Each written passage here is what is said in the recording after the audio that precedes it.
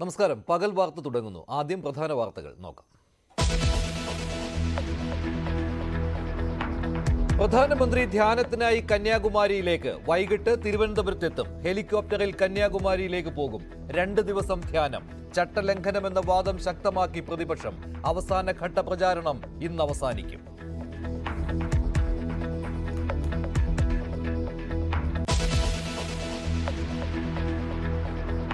സ്വർണക്കടത്തിന് ശശി തരൂരിന്റെ സഹായി പിടിയിൽ. ഡൽഹി വിമാനത്താവളത്തിൽ കസ്റ്റംസ് കസ്റ്റഡിയിലെടുത്ത ശിവകുമാറിൽ നിന്ന് സ്വർണം പിടിച്ചെടുത്തു. ശിവകുമാർ മുൻ സ്റ്റാഫ് എന്ന് തരൂർ. ഇപ്പോൾ സഹായി മാത്രമെന്നും വിശദീകരണം.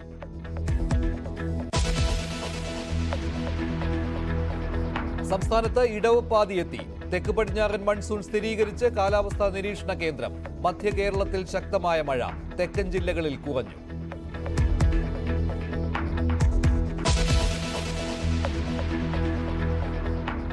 വിഷു ബമ്പർ ഭാഗ്യവാനെ കണ്ടെത്തി.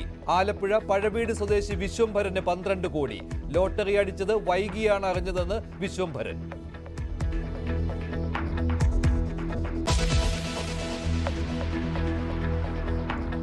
മുഖ്യമന്ത്രിയുടെ മകളുടെ വിദേശ അക്കൗണ്ടിനെ കുറിച്ചുള്ള ഷോൺ ജോർജിന്റെ ഉപഹർജി തീർപ്പാക്കി ഹൈക്കോടതി. എസ് എഫ് ഐ ഒ അന്വേഷണത്തിന് ശേഷം പരാതിയുണ്ടെങ്കിൽ കോടതിയെ സമീപിക്കാം. മകളുടെ വിദേശ അക്കൗണ്ടിനെ കുറിച്ചുള്ള മുഖ്യമന്ത്രിയുടെ മൗനത്തെ പരിഹസിച്ച് പ്രതിപക്ഷം മറുപടി പറയാൻ ധൈര്യമുണ്ടോ എന്ന് കെ സുധാകരന്റെ വെല്ലുവിളി.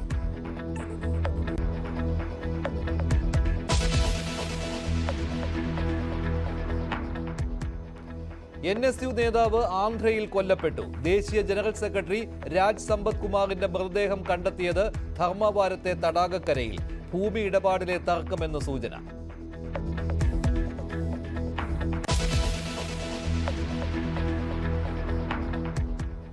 പീഡനക്കേസിൽ സംവിധായകൻ ഒമർ ലുലുവിന് ഇടക്കാല ജാമ്യം. അറസ്റ്റ് ചെയ്താൽ ആൾ ജാമ്യത്തിൽ വിടണമെന്ന് ഹൈക്കോടതി. യുവനടിയുടെ പീഡന പരാതിക്കെതിരായ മുൻകൂർ ജാമ്യാപേക്ഷ ജൂൺ ആറിന് പരിഗണിക്കും.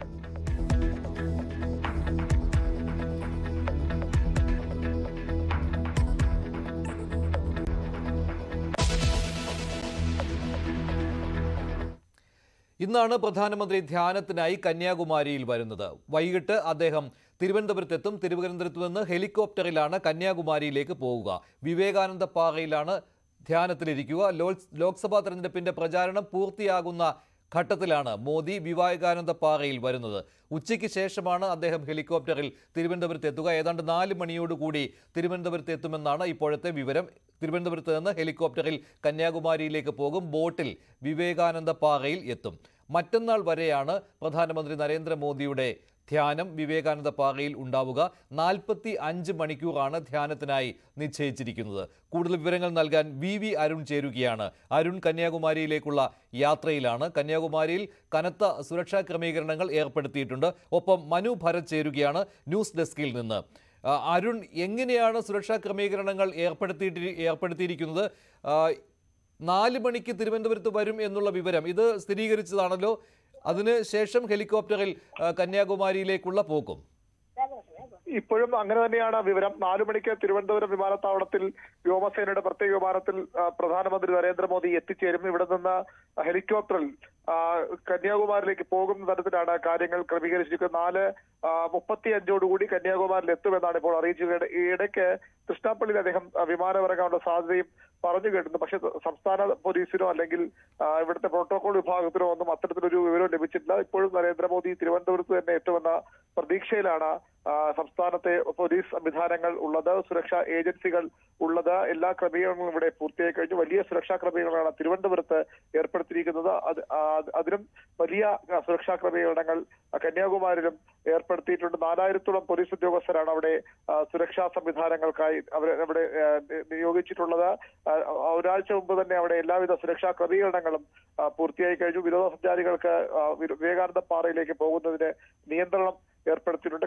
കന്യാകുമാരിയുടെ ചുറ്റുമുള്ള തീരദേശ ഗ്രാമങ്ങളിലും വലിയ നാൽപ്പത്തിരണ്ടോളം മത്സ്യബന്ധന ഗ്രാമങ്ങളുണ്ട്. അവിടെയും നിരീക്ഷണം ശക്തമാക്കിയിട്ടുണ്ട്. വിനോദസഞ്ചാരികൾക്ക് വലിയ നിയന്ത്രണം ആ ഭാഗത്തുണ്ട്. ഏതായാലും ഈ സമയത്ത് ടൂറിസ്റ്റുകൾ ഒരുപാട് വരുന്ന സമയം കൂടിയാണ് കന്യാകുമാരിയിൽ. അതുകൂടാതെ പത്മനാഭപുരം പാലസ് ശുചീന്ദ്രം ക്ഷേത്രം ഇവ സന്ദർശിക്കാൻ വന്നതിന് ശേഷം കന്യാകുമാരിയിലേക്ക് പോകുന്ന ആളുകളും ഉണ്ട്. അപ്പോൾ ഏത് രീതിയിലുള്ള സുരക്ഷയാണ് ഏർപ്പെടുത്തിയിട്ടുള്ളത്? ഇവർക്ക് എത്ര ദിവസത്തേക്ക് അങ്ങോട്ട് കന്യാകുമാരിയിലേക്ക് പ്രവേശനം ഉണ്ടാവുകയില്ല? ഇങ്ങനെയുള്ള വിവരങ്ങൾ കൃത്യമായിട്ട് നിർദ്ദേശമായിട്ട് പുറത്ത് വന്നിട്ടുണ്ടോ? കന്യാകുമാരിയിൽ ആളുകൾക്ക് ഒരു ഒരു പരിധിവരെ പ്രവേശനം നൽകും. അതിനപ്പുറത്തേക്ക് വിവേകാനന്ദ പാറ പൂർണമായും എൻ എസ് സുരക്ഷാ ഉദ്യോഗസ്ഥരുടെ സംരക്ഷണയിലാണ്. അവിടേക്ക് ആർക്കും പ്രവേശനം ഉണ്ടായില്ല. കന്യാകുമാരി നിയന്ത്രണങ്ങളുടെ മാത്രമാകും പ്രവേശനം നൽകുന്നത്. തിരുനെൽവേലി റേഞ്ച് ഐ ജിയുടെ നേതൃത്വത്തിലാണ് പ്രധാനമായും തമിഴ്നാട് പോലീസിന്റെ സുരക്ഷ ഇവിടെ ഏർപ്പെടുത്തിയിട്ടുള്ളത്. പ്രധാനമന്ത്രി വരുന്നതുകൊണ്ട് തന്നെ ചുറ്റുമുള്ള പ്രദേശങ്ങളിലും വലിയ സുരക്ഷാ ക്രമീകരണമുണ്ട് അവിടുത്തെ ലോഡ്ജുകളിലും അതുപോലെ തന്നെ ഹോട്ടലുകളിലും ഒക്കെ പോലീസ് ഇതിനകം പലതവണ പരിശോധന നടത്തിക്കഴിഞ്ഞു. വിനോദസഞ്ചാരികൾ പരമാവധി അവിടേക്ക് പോകാതിരിക്കുന്നതാണ് ഈ ദിവസങ്ങൾ നല്ലതെന്നൊരു അനൌദ്യോഗിക സന്ദേശവും പോലീസ് നൽകുന്നുണ്ട്. വലിയ സുരക്ഷാ ക്രമീകരണം തന്നെയാണ് പ്രധാനമന്ത്രിയുടെ മൂന്ന് ദിവസം അദ്ദേഹം അവിടെ ഉണ്ടാകും ഇന്ന് വൈകുന്നേരം നാളെയും മറ്റന്നാളും ആ വൈകിട്ട് വൈകിട്ടോടുകൂടി മാത്രമേ അദ്ദേഹം അവിടെ നിന്ന് തിരികെ ഇപ്പോഴത്തെ പ്ലാൻ അനുസരിച്ച് തിരുവനന്തപുരത്തേക്ക് തിരിക്കുകയുള്ളൂ. അതുവരെ വലിയ സുരക്ഷാ ക്രമീകരണങ്ങളും ശക്തമായ കാവലും അവിടെ ഏർപ്പെടുത്തിയിട്ടുണ്ട്. ശരി അരുണാണ് വിവരങ്ങൾ നൽകിക്കൊണ്ടിരിക്കുന്നത്. അരുൺ കന്യാകുമാരിയിലേക്കുള്ള യാത്രയിലാണ്. വൈകിട്ടാണ് പ്രധാനമന്ത്രി നരേന്ദ്രമോദി കന്യാകുമാരിയിൽ എത്തുക. ബോട്ടിൽ അദ്ദേഹം വിവേകാനന്ദ പാറയിൽ ചെല്ലും. അവിടെ അവിടെയാണ് അദ്ദേഹം ധ്യാനമിരിക്കുക. മറ്റന്നാൾ ഉച്ചയ്ക്ക് ശേഷമാണ് ധ്യാനം അവസാനിക്കുക. ഇപ്പോൾ മനു ഭരത് ചേരുകയാണ്. കൂടുതൽ വിവരങ്ങളുമായി ന്യൂസ് ഡെസ്കിൽ നിന്ന്. മനു ഇതിനകം തന്നെ പ്രതിപക്ഷം ഇത് വലിയ പ്രശ്നമാക്കി മാറ്റിയിട്ടുണ്ട്. അത് മാത്രമല്ല തെരഞ്ഞെടുപ്പ് കമ്മീഷനിലേക്ക് പോയത് ഇപ്പോൾ കോൺഗ്രസും ഡി എം കെയുമാണല്ലോ. മറ്റു പാർട്ടികളും തെരഞ്ഞെടുപ്പ് കമ്മീഷനെ സമീപിച്ചേക്കാം. നിശബ്ദ പ്രചാരണത്തിന്റെ ദിവസങ്ങളാണ് ഇന്ന് ഇന്ന് വൈകിട്ട് അതിനുശേഷം നാളെ പൂർണമായും നിശബ്ദ പ്രചാരണ ദിവസമാണ്. പക്ഷേ ഈ നിശബ്ദ പ്രചാരണം ഈ രീതിയിൽ ഒരു ഹൈപ്പ് ഉണ്ടാക്കുന്നതിന് വേണ്ടി പ്രധാനമന്ത്രി ഉപയോഗിക്കുന്നു. അത് ചട്ടലംഘനമാണ്. ഈ ഒരു പരാതിയാണല്ലോ പ്രതിപക്ഷം ഉന്നയിക്കുന്നത്. മറ്റൊരു കാര്യം കേൾക്കുന്നു. തെരഞ്ഞെടുപ്പ് കമ്മീഷൻ ഈ വിഷയ വിഷയത്തിൽ ഇടപെട്ടില്ല എങ്കിൽ തമിഴ്നാട്ടിൽ കോൺഗ്രസും ഡി എം കെയും ഒക്കെ നേതാക്കളെ സംഘടിപ്പിച്ചുകൊണ്ടുള്ള മറ്റൊരു ധ്യാനം നടത്തും എന്ന രീതിയിലുള്ള അത് അതിന്റെ ഒരു സ്ഥിരീകരണം വന്നിട്ടില്ല. എന്തൊക്കെ കാര്യങ്ങളാണ് ഇതിൽ ആലോചിക്കുന്നത് പ്രതിപക്ഷം ഇപ്പോൾ? സ്വാഭാവികമായും ഇത് ഒരു തലക്കെട്ടാകുന്നു എന്ന് കാണുന്നതോടുകൂടിയാണ് പ്രതിപക്ഷത്തിന്റെ ശക്തിയും അവരും പ്രകടിപ്പിക്കുന്നത്. ഈ നിശബ്ദ പ്രചരണത്തിന്റെ അല്ലെങ്കിൽ പരസ്യപ്രചരണം അനുവദിക്കാത്ത ഒരു സാഹചര്യത്തിൽ പ്രധാനമന്ത്രി ഇങ്ങനെ സർക്കാരിന്റെ സംവിധാനങ്ങൾ കൂടി ഉപയോഗിച്ചുകൊണ്ട് ഈ ധ്യാനം ഇരിക്കുന്നതും അതുമായി ബന്ധപ്പെട്ട പ്രചരണ പരിപാടികളുടെ ഭാഗമായാണ് എന്ന് കാണിച്ചുകൊണ്ടാണ് പ്രതിപക്ഷം ഇതിൽ എതിരെ പ്രതിഷേധവുമായി എത്തിയിരിക്കുന്നത്. അദ്ദേഹം ഇങ്ങനെ ധ്യാനത്തിലിരിക്കുന്നതോ അല്ലെങ്കിൽ മൗനം പാലിക്കുന്നതോ ഒന്നും കോൺഗ്രസിനെ ബാധിക്കുന്ന വിഷയമല്ല എന്നാണ് മനു അഭിഷേക് സിംഗ്വി വ്യക്തമാക്കിയത്. പക്ഷേ അതേസമയം അത് ഈ നിശബ്ദ പ്രചരണത്തിന് നിശബ്ദമായി ഇരിക്കേണ്ട സമയത്ത് അല്ലെങ്കിൽ പരസ്യപ്രചരണം അനുവദിക്കാത്ത ഒരു സാഹചര്യത്തിൽ ഇതുപോലെ നടക്കുന്നത് അത് തിരഞ്ഞെടുപ്പ് പെരുമാറ്റച്ചട്ടത്തിന്റെ ലംഘനമാണ് എന്ന് കോൺഗ്രസ് ചൂണ്ടിക്കാണിക്കുന്നു. ഏതായാലും ഡി എം കെയും ഇത് സമാനമായ രീതിയിൽ ഇതിനെതിരെ പ്രതിഷേധവുമായി എത്തുന്നു. സ്വാഭാവികമായും ഇത് വീണ്ടും കൂടുതൽ വിവാദങ്ങളിലേക്ക് നീങ്ങുന്നു എന്നാണ് കണക്കാക്കുന്നത്. അതേസമയം അതുപോലെ തന്നെ ഇപ്പോൾ കേദാർനാഥിൽ കഴിഞ്ഞ രണ്ടായിരത്തി പത്തൊൻപതിൽ ധ്യാനത്തിലിരുന്ന നരേന്ദ്രമോദി ആ ദൃശ്യങ്ങൾ ലോകം മുഴുവൻ എത്തിയതാണ്. സമാന രീതിയിൽ തന്നെ വിവേകാനന്ദ പാറയിലെ മോദിയുടെ ധ്യാനവും ഈ രീതിയിൽ തന്നെ ലോകത്തിന് കാണാവുന്ന രീതിയിലുള്ള ക്രമീകരണമായിരിക്കില്ലേ സ്വാഭാവികമായിട്ടും ഉണ്ടാവുക. അപ്പോൾ അതാണല്ലോ പ്രതിപക്ഷത്തെ വേവലാതിപ്പെടുത്തിയിരിക്കുന്നത്. ഈ ദൃശ്യങ്ങൾ തെരഞ്ഞെടുപ്പ് പ്രചാരണത്തിന് സമാനമാണ് എന്ന് ഈ നിശബ്ദ പ്രചാരണ ദിവസങ്ങളിൽ. അതെ കേദാർനാഥിൽ അദ്ദേഹം പതിനേഴ് മണിക്കൂർ ധ്യാനത്തിലിരിക്കുന്ന ഒരു രീതിയാണ് ഉണ്ടായത്. അപ്പോൾ അതിന്റെ ആദ്യ ഭാഗം അദ്ദേഹം പ്രധാനമന്ത്രി രണ്ട് കിലോമീറ്ററോളം നടന്നൊക്കെയാണ് അങ്ങോട്ടേക്ക് എത്തുന്നത്. അപ്പോൾ സ്വാഭാവികമായും അതിന്റെ ആദ്യ ഭാഗം കുറച്ച് മാധ്യമങ്ങൾക്ക് ദൃശ്യങ്ങൾ പകർത്താൻ അനുമതി നൽകിയിരുന്നു.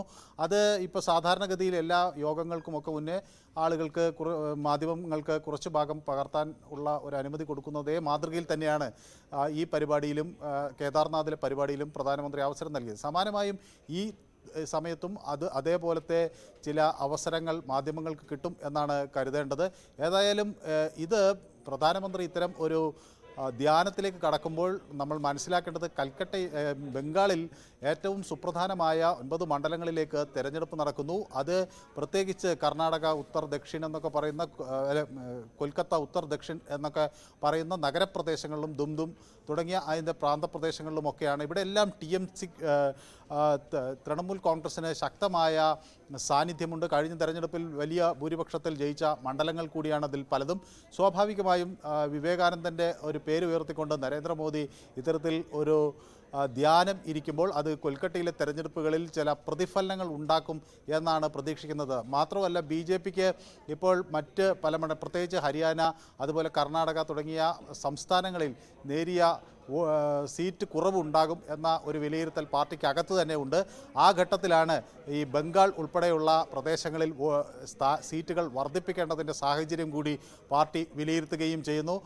സ്വാഭാവികമായും തെലങ്കാനയിലും ആന്ധ്രാപ്രദേശിലും ഒറീസയിലും സീറ്റ് വർധന ഉണ്ടാകും എന്നൊരു പ്രതീക്ഷയുണ്ട്. അങ്ങനെ വന്നാൽ പാർട്ടിക്ക് തിരിച്ചടികൾ നേരിടാൻ സാധ്യതയുള്ള കർണാടകയിലെയോ അതുപോലെ ഹരിയാനയിലെയോ പഞ്ചാബിലെയോ വോട്ടുകൾ സീറ്റുകൾ ഇതുകൊണ്ട് മറികടക്കാൻ കഴിയും എന്നൊരു പ്രതീക്ഷയാണ്. ഏതായാലും ഇരുന്നൂറ്റി എൺപത് സീറ്റുകൾക്ക് മുകളിൽ ഉറപ്പിക്കുന്ന ഒരു നിലപാടാണ് ബി ജെ പി സ്വീകരിച്ചിരിക്കുന്നത്. അതുകൊണ്ട് തന്നെ അങ്ങനെ ഒരു വശം കൂടിയുണ്ട്. മാത്രവുമല്ല ഈ ധ്യാനത്തിൽ ഇരിക്കുന്നത് ആ പ്രത്യേകിച്ച് തന്റെ വോട്ടെടുപ്പ് നടക്കുന്ന മണ്ഡലങ്ങളിൽ അത് തനിക്ക് അനുകൂലമായ ഒരു തരംഗമുണ്ടാക്കും എന്ന വിലയിരുത്തൽ കൂടി ബി ജെ പിക്ക് അകത്തുണ്ട് അത് പ്രതിപക്ഷം അത് പരമാവധി അതിനെ വിവാദത്തിലേക്ക് കൊണ്ടുവരാനുള്ള ശ്രമം നടത്തുന്നു.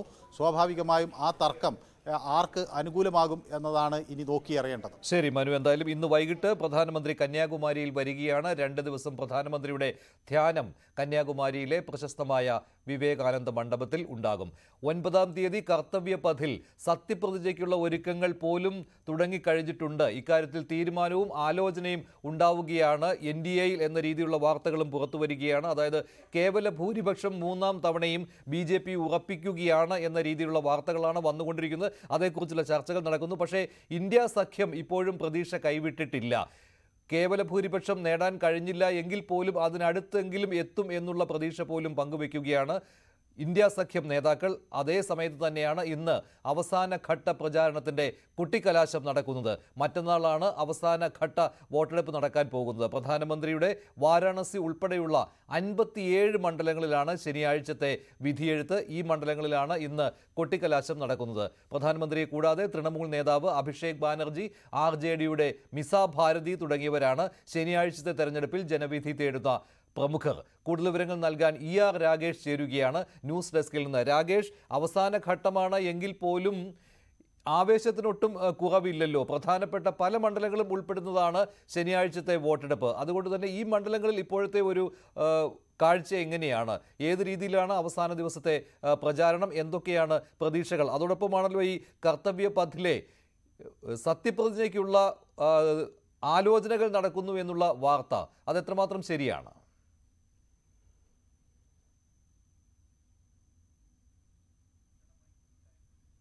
കേൾക്കുന്നില്ല. രാകേഷിലേക്ക് വരാം. എന്തായാലും അവസാന ഘട്ട തെരഞ്ഞെടുപ്പിനുള്ള പ്രചാരണമാണ് ഇന്ന് അവസാനിക്കുന്നത്. പ്രധാനപ്പെട്ട പല മണ്ഡലങ്ങളും ഇതിൽ ഉൾപ്പെടുകയാണ് എന്നുള്ള പ്രത്യേകതയും ഉണ്ട്. കഴിഞ്ഞ ഘട്ടങ്ങളിൽ തെരഞ്ഞെടുപ്പ് നടന്ന ഉത്തർപ്രദേശിലെയും ബംഗാളിലെയും മണ്ഡലങ്ങൾ ഇതിൽ ഉൾപ്പെടുന്നുണ്ട്. ബീഹാറിലെ ചില മണ്ഡലങ്ങൾ ഇതിൽ ഉൾപ്പെടുന്നുണ്ട്. കൂടുതൽ വിവരങ്ങൾ നൽകാൻ ഇ ആർ രാകേഷ് തുടരുന്നുണ്ട്. രാകേഷ് എന്തൊക്കെയാണ് വിവരങ്ങൾ? മഞ്ജുഷ നാനൂറ്റി എൺപത്തി ആറ് മണ്ഡലങ്ങളിലെ വോട്ടെടുപ്പ് അവസാനിച്ചു കഴിഞ്ഞു. ഇനി അവശേഷിക്കുന്നത് അൻപത്തി ഏഴ് മണ്ഡലങ്ങളാണ്. ഈ അൻപത്തിയേഴ് മണ്ഡലങ്ങളിൽ പഞ്ചാബിലെ പതിമൂന്ന് മണ്ഡലങ്ങൾ ഒപ്പം തന്നെ ഉത്തർപ്രദേശിലെ പതിമൂന്ന് മണ്ഡലങ്ങൾ പശ്ചിമ ബംഗാളിലെ ഒൻപത് ബീഹാറിൽ എട്ട് ഒഡീഷയിൽ ആറ് ജാർഖണ്ഡിൽ മൂന്ന് ഒപ്പം തന്നെ ചണ്ഡീഗഡ്. ഇങ്ങനെ അൻപത്തിയേഴ് മണ്ഡലങ്ങളിലാണ് വോട്ടെടുപ്പ് നടക്കുന്നത്. കഴിഞ്ഞ തവണ ബി ജെ പി ഇരുപത്തിയഞ്ച് സീറ്റിലാണ് ഈ അൻപത്തിയേഴ് മണ്ഡലങ്ങളിൽ വിജയിച്ചിരുന്നത്. അതിൽ തന്നെ ബി ജെ പിയുടെയും എൻ ഡി എയുടെയും ഏറ്റവും മികച്ച പ്രകടനം യു പിയിലും ബീഹാറിലുമായിരുന്നു. കാരണം യു പിയിലെ പതിമൂന്നിൽ ബി ജെ പി ഒറ്റയ്ക്ക് വിജയിച്ചത് ഒൻപത് സീറ്റായിരുന്നു. സഖ്യകക്ഷിയായ അപ്നാദൽ രണ്ട് സീറ്റിൽ വിജയിച്ചപ്പോൾ സമാജ്വാദി പാർട്ടിയുടെ ഭാഗമായിരുന്ന അവരുമായി സഖ്യമായി മത്സരിച്ചിരുന്ന ബി എസ് പി ആണ് രണ്ട് സീറ്റിൽ വിജയിച്ചിരുന്നത്. പക്ഷേ പഞ്ചാബിലും പശ്ചിമ ബംഗാളിലും സ്ഥിതി വ്യത്യസ്തമായിരുന്നു. അതാണ് മറ്റ് ഘട്ടങ്ങളെ അപേക്ഷിച്ച് ഈ ഒരു ഘട്ടത്തെ പ്രത്യേകത പ്രത്യേകതയും അതുതന്നെയാണ് കാരണം പഞ്ചാബിൽ പതിമൂന്ന് സീറ്റുകളിൽ എട്ടിടത്ത് വിജയിച്ചത് കോൺഗ്രസ് ആണ്. അവിടെ കഴിഞ്ഞ തവണ ശിരോമണി അകാലിത രണ്ട് സീറ്റിലും ബി ജെ പി രണ്ട് സീറ്റിലും ഒരു സീറ്റിൽ മാത്രമാണ് ആം ആദ്മി പാർട്ടി വിജയിച്ചിരുന്നത്. അപ്പോൾ ഇത്തവണ ആം ആദ്മി പാർട്ടി അവിടെ ഒരു പ്രധാനപ്പെട്ട ശക്തിയായി മാറിയിരിക്കുന്നു. ഇന്ത്യ സഖ്യത്തിന്റെ ഭാഗമായല്ല പഞ്ചാബിൽ പോരാട്ടം. അപ്പോൾ ആം ആദ്മി പാർട്ടി കോൺഗ്രസിന്റെ സീറ്റുകളിലായിരിക്കുമോ വിള്ളൽ വീഴ്ത്തുക എന്നത് ഏറ്റവും ശ്രദ്ധേയമായ കാര്യമാണ്. ഒപ്പം തന്നെ പശ്ചിമ ബംഗാളും ഏറ്റവും നിർണായകമായ ഒരു ഘട്ടത്തിൽ തെരഞ്ഞെടുപ്പ് നടക്കുന്നു. കാരണം പശ്ചിമ ബംഗാളിലെ ഒൻപതിൽ ഒൻപതും വിജയിച്ചത് തൃണമൂൽ കോൺഗ്രസ് ആയിരുന്നു പ്രത്യേകിച്ച് കഴിഞ്ഞ ലോക്സഭാ തെരഞ്ഞെടുപ്പിന്റെ ഏറ്റവും അവസാനത്തെ പ്രചാരണത്തിന്റെ ഏറ്റവും അവസാന ഘട്ടത്തിലാണ് വലിയ രീതിയിലുള്ള സംഘർഷവും ഒക്കെ ഉടലെടുത്ത് പ്രത്യേകിച്ച് സർവകലാശാല അടക്കം കൊൽക്കത്തയിലെ ജാദവ്പൂർ യൂണിവേഴ്സിറ്റി അടക്കം വലിയ സംഘർഷത്തിലേക്ക് വഴിവെക്കുകയൊക്കെ ചെയ്തിരുന്നു. അതിന്റെ ഗുണം ലഭിച്ചത് അന്ന് തൃണമൂൽ കോൺഗ്രസിനായിരുന്നു. പ്രത്യേകിച്ച് നഗരമണ്ഡലങ്ങൾ പലപ്പോൾ പല കാലങ്ങളായി തൃണമൂലിനൊപ്പം നിൽക്കുന്നതാണ്. അവിടേക്ക് ബി ജെ പിക്ക് ഒരു വിള്ളൽ വീഴ്ത്താൻ കഴിയുമോ എന്നാണ് ഏറ്റവും പ്രധാനപ്പെട്ട കാര്യം. പ്രത്യേകിച്ച് പ്രധാനമന്ത്രി നരേന്ദ്രമോദി ഉൾപ്പെടെയുള്ള നരേന്ദ്രമോദി ധ്യാനത്തിലെത്തുന്നത് കന്യാകുമാരി വിവേകാനന്ദ പാറയിലേക്കാണ്. അപ്പോൾ സ്വാഭാവികമായും ബംഗാളിന് ഒരു വൈകാരിക അടുപ്പം വിവേകാനന്ദമായുണ്ട് അപ്പോൾ അതൊക്കെ ഏത് തരത്തിൽ വോട്ടെടുപ്പിൽ പ്രതിഫലിക്കുമെന്നത് നിർണായകമായ കാര്യമാണ്. ഒപ്പം തന്നെ ഒഡീഷയിൽ കഴിഞ്ഞ തവണ ആറ് സീറ്റിൽ നാലിടത്താണ് ബിജു ജനതാദൾ വിജയിച്ചത് രണ്ടിടത്ത് വിജയിച്ചത് ബി ജെ പി ആയിരുന്നു. ഇത്തവണ ബി ജെ പി മറ്റിടങ്ങളിൽ പിന്നോട്ട് പോയാൽ തന്നെ ഒരു മുന്നേറ്റം പ്രതീക്ഷിക്കുന്ന സംസ്ഥാനം ഒഡീഷയാണ്. അപ്പോൾ കഴിഞ്ഞ തവണത്തെ നമ്പറിൽ നിന്ന് ഏതെങ്കിലും തരത്തിലൊരു മുന്നേറ്റം ബി ജെ പിക്ക് സാധ്യമാകുമോ എന്നത് പ്രധാനപ്പെട്ട കാര്യമാണ്. പക്ഷേ ബീഹാറിൽ കഴിഞ്ഞ തവണത്തെ പ്രകടനം ബി ജെ പിക്ക് ആവർത്തിച്ചേ മതിയാകൂ. കാരണം ഈ കോൺഗ്രസ് ഒരു സീറ്റിൽ വിജയിച്ചപ്പോൾ നാൽപ്പതിൽ മുപ്പത്തി ഒൻപതും വിജയിച്ചത് ബി ജെ പി ആയിരുന്നു. അപ്പോൾ ബീഹാറിൽ ആ പ്രകടനം നിലനിർത്തുകയും വേണം. അതുകൊണ്ട് തന്നെ ഏറെ നിർണായകമാണ് ഈ അവസാനഘട്ട വോട്ടെടുപ്പ്. ഏതായാലും പ്രചാരണം ഇന്ന് അവസാനിക്കുകയാണ്. മറ്റന്നാളാണ് അൻപത്തിയേഴ് മണ്ഡലങ്ങളിലെ വിധിയെഴുത്ത്. മഞ്ജുഷ്. ശരി ആർ രാജേഷാണ് വിവരങ്ങൾ നൽകിയത്. മറ്റന്നാളത്തെ അവസാനഘട്ട വോട്ടെടുപ്പ് നടക്കുന്ന മണ്ഡലങ്ങളിൽ ഇന്നാണ് പ്രചാരണം അവസാനിക്കുന്നത്. മറ്റു വാർത്തകളിലേക്ക് പോവുകയാണ്. സ്വർണക്കടത്തിന് ശശി തരൂരിന്റെ മുൻ പി എ അടക്കം രണ്ടുപേർ ഡൽഹി വിമാനത്താവളത്തിൽ പിടിയിലായി. യാത്രക്കാരിൽ നിന്ന് സ്വർണം വാങ്ങാനെത്തിയപ്പോഴാണ് മുൻ പി എ ആയ ശിവകുമാർ പ്രസാദ് കസ്റ്റംസിന്റെ പിടിയിലായത്. മുപ്പത്തി അഞ്ച് ലക്ഷം രൂപയുടെ സ്വർണമാണ് ഇയാളിൽ നിന്ന് പിടികൂടിയത്. ശിവകുമാർ തന്റെ മുൻ ജീവനക്കാരനാണെന്ന് മുൻ പേഴ്സണൽ സ്റ്റാഫാണെന്ന് ശശി തരൂർ സ്ഥിരീകരിച്ചിട്ടുണ്ട്. അദ്ദേഹം ഇതേക്കുറിച്ചുള്ള ട്വീറ്റും നൽകിയിട്ടുണ്ട്. എന്നാൽ ഇപ്പോൾ പേഴ്സണൽ സ്റ്റാഫിൽ ഉള്ള ആളല്ല. ഇപ്പോൾ ഒരു താൽക്കാലിക സേവനമാണ് അദ്ദേഹം തനിക്ക് നൽകി വരുന്നത്. ആരോഗ്യ പ്രശ്നങ്ങൾ ഉള്ളതുകൊണ്ടാണ് ഇത്തരമൊരു സേവനം നൽകുന്നതിന് വേണ്ടി നിലനിർത്തിയിരിക്കുന്നത് എന്നും ശശി തരൂർ ട്വീറ്റിൽ പറയുന്നു ഇക്കാര്യത്തിൽ അന്വേഷണത്തിൽ ഇടപെടില്ല എന്നും ശശി തരൂർ പറയുന്നു. പക്ഷേ ഇത് തന്നെ ഞെട്ടിച്ചു ഈ വിവരം എന്നും ശശി തരൂർ ട്വീറ്റ് ചെയ്തിട്ടുണ്ട്. എന്നാൽ രാജീവ് ചന്ദ്രശേഖർ ഇക്കാര്യത്തിൽ ശശി തരൂരിനെ വിമർശിച്ചു. സഖ്യം സ്വർണ്ണക്കടത്തിൻ്റെ കാര്യത്തിലും ഉണ്ട് എന്നായിരുന്നു രാജീവ് ചന്ദ്രശേഖറിൻ്റെ വിമർശനം ഇക്കാര്യത്തിൽ തരൂരിൻ്റെ പ്രതികരണം ആദ്യം കേൾക്കാം स्टेटमेंट हमें किया है स्टेटमेंट किया है ये तो एक बुजुर्ग आदमी है जो रिटायर हो गया है और जो मुझे ज़रा सा मदद दे रहा था पार्ट टाइम जब उनको उनकी आ, स्वास्थ्य से उनको करने देते हैं मैं ये ये ये न्यूज़ से बिल्कुल शॉक्ड हूँ। तो इसलिए मैंने कहा कि जो भी अथॉरिटीज़ को करना है उनको करने दीजिए। मुझे तो इसमें कोई बंधन नहीं है। ये होने दीजिए वो जाँच करें जो भी एक्शन लेना है कर दें। मुझे तो कोई इसमें आ, वो मेरे लिए नहीं गए एयरपोर्ट मैं तो हूँ नहीं वहाँ मैं यही हूँ। और अगर वो दूसरे काम के लिए जा रहे हैं तो वो उसकी बिज़नेस है उसको बताने दीजिए। ठीक है? धन्यवाद। സ്വർണക്കടത്തിന് ശശി തരൂരിന്റെ സ്റ്റാഫ് അംഗം പിടിയിലായത് തിരഞ്ഞെടുപ്പ് ആയുധമാക്കുകയാണ് ബി ജെ പി. ഡൽഹി വിമാനത്താവളത്തിലാണ് ശിവകുമാർ പിടിയിലായത്. ആ എഴുപത്തി അഞ്ച് വയസ്സുള്ള വ്യക്തിയാണ് ശിവകുമാർ. ഇയാൾ ദുബായിൽ നിന്ന് നിന്നെത്തിയ യാത്രക്കാരിൽ നിന്ന് അഞ്ഞൂറ് ഗ്രാം സ്വർണം കൈപ്പറ്റുകയായിരുന്നു. ഈ സമയത്ത് കസ്റ്റംസ് ഇരുവരെയും പിടികൂടി. തുടർന്ന് വിശദമായി ചോദ്യം ചെയ്തപ്പോഴാണ് തരൂരിന്റെ സ്റ്റാഫ് അംഗമെന്ന് ശിവകുമാർ വ്യക്തമാക്കിയത്. ധർമ്മശാലയിൽ പ്രചരണത്തിലുള്ളപ്പോഴാണ് താൻ ഈ കാര്യം അറിഞ്ഞതെന്നാണ് തരൂരിന്റെ വിശദീകരണം. ശിവകുമാർ ഡയാലിസിസ് ചെയ്യുന്ന ഒരു രോഗിയാണ്. അദ്ദേഹത്തിന്റെ അവസ്ഥ കണ്ടാണ് തനിക്ക് തന്റെ സ്റ്റാഫ് അംഗത്തിലേക്ക് അതും പാർട്ട് ടൈമായാണ് താൻ നിയമിച്ചത്. വിമാനത്താവളത്തിൽ തന്നെ സഹായിക്കുന്നതിന് വേണ്ടിയാണ് ശിവകുമാറിനെ നിയമിച്ചതെന്നൊരു വിശദീകരണമാണ് തരൂർ നൽകിയിട്ടുള്ളത്. ഏതായിരുന്നാലും കസ്റ്റംസ് കൂടുതൽ വിശദമായ അന്വേഷണത്തിലേക്ക് പോവുകയാണ്. നേരത്തെയും സ്വർണക്കടത്ത് നടത്തിയിട്ടുണ്ടോ? ഈ തരത്തിൽ അവിടെ എത്തിയ യാത്രക്കാരുമായി ശിവകുമാർ നടത്തിയ ഇടപാടുകൾ വിമാനത്താവളത്തിൽ ശശി തരൂരിന് ശിവകുമാർ എന്ത് സേവനമാണ് നൽകിയത് തുടങ്ങിയതടക്കമുള്ള കാര്യങ്ങളാണ് കസ്റ്റംസും മറ്റ് കേന്ദ്ര ഏജൻസികളും അന്വേഷിക്കുക. ഏതായിരുന്നാലും ബി ജെ പി ഈ ഒരു അവസരം കൃത്യമായി പ്രയോജനപ്പെടുത്തുന്നു. കോൺഗ്രസിനെ അടിക്കാനുള്ള വലിയൊരു വടിയായി ഈ സംഭവത്തെ മാറ്റിയിരിക്കുകയാണ് B J P. B Vinod news eighteen Thiruvananthapuram. Shashi തരൂറിന്റെ വിശദീകരണം ചില സേവനങ്ങൾക്കായി ഇദ്ദേഹം തന്നെ സഹായിക്കാറുണ്ട്. അതുകൊണ്ടാണ് ഇപ്പോഴും നിലനിർത്തിയിരിക്കുന്നത്. ആരോഗ്യ പ്രശ്നങ്ങൾ ഉള്ളതുകൊണ്ടാണ് ഇങ്ങനെ മനുഷ്യത്വപരമായ കാരണങ്ങൾ കൊണ്ടാണ് നിലനിർത്തിയിരിക്കുന്നത് എന്നാണ് ശശി തരൂരിന്റെ വിശദീകരണം. പക്ഷേ ഇപ്പോൾ പേഴ്സണൽ സ്റ്റാഫ് എന്ന പദവിയിൽ ഇല്ല ശശികുമാർ എന്നും ശിവകുമാർ എന്നും ശശി തരൂർ പറയുകയാണ്.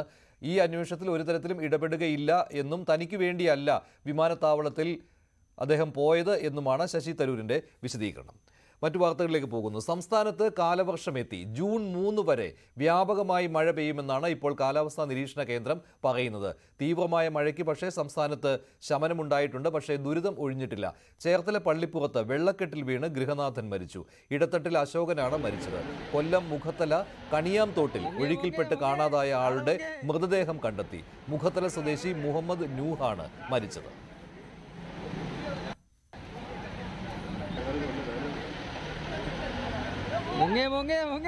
കോട്ടയം ജില്ലയിലും പലയിടത്തും മഴ ദുരിതമുണ്ട്. മുണ്ടക്കയത്ത് മണിമലയാറ്റിൽ കഴിഞ്ഞ ദിവസം കാണാതായ ആളിന്റെ മൃതദേഹം കണ്ടെത്തി.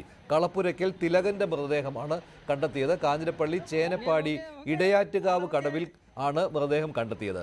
കൊട്ടാരക്കര പെരുംകുളത്ത് ഉറങ്ങിക്കിടന്നിരുന്ന കുടുംബത്തിന്റെ മുകളിലേക്ക് വീടിന്റെ മേൽക്കൂര തകർന്നു വീണു. മൂന്ന് പേർക്ക് പരുക്കേറ്റു.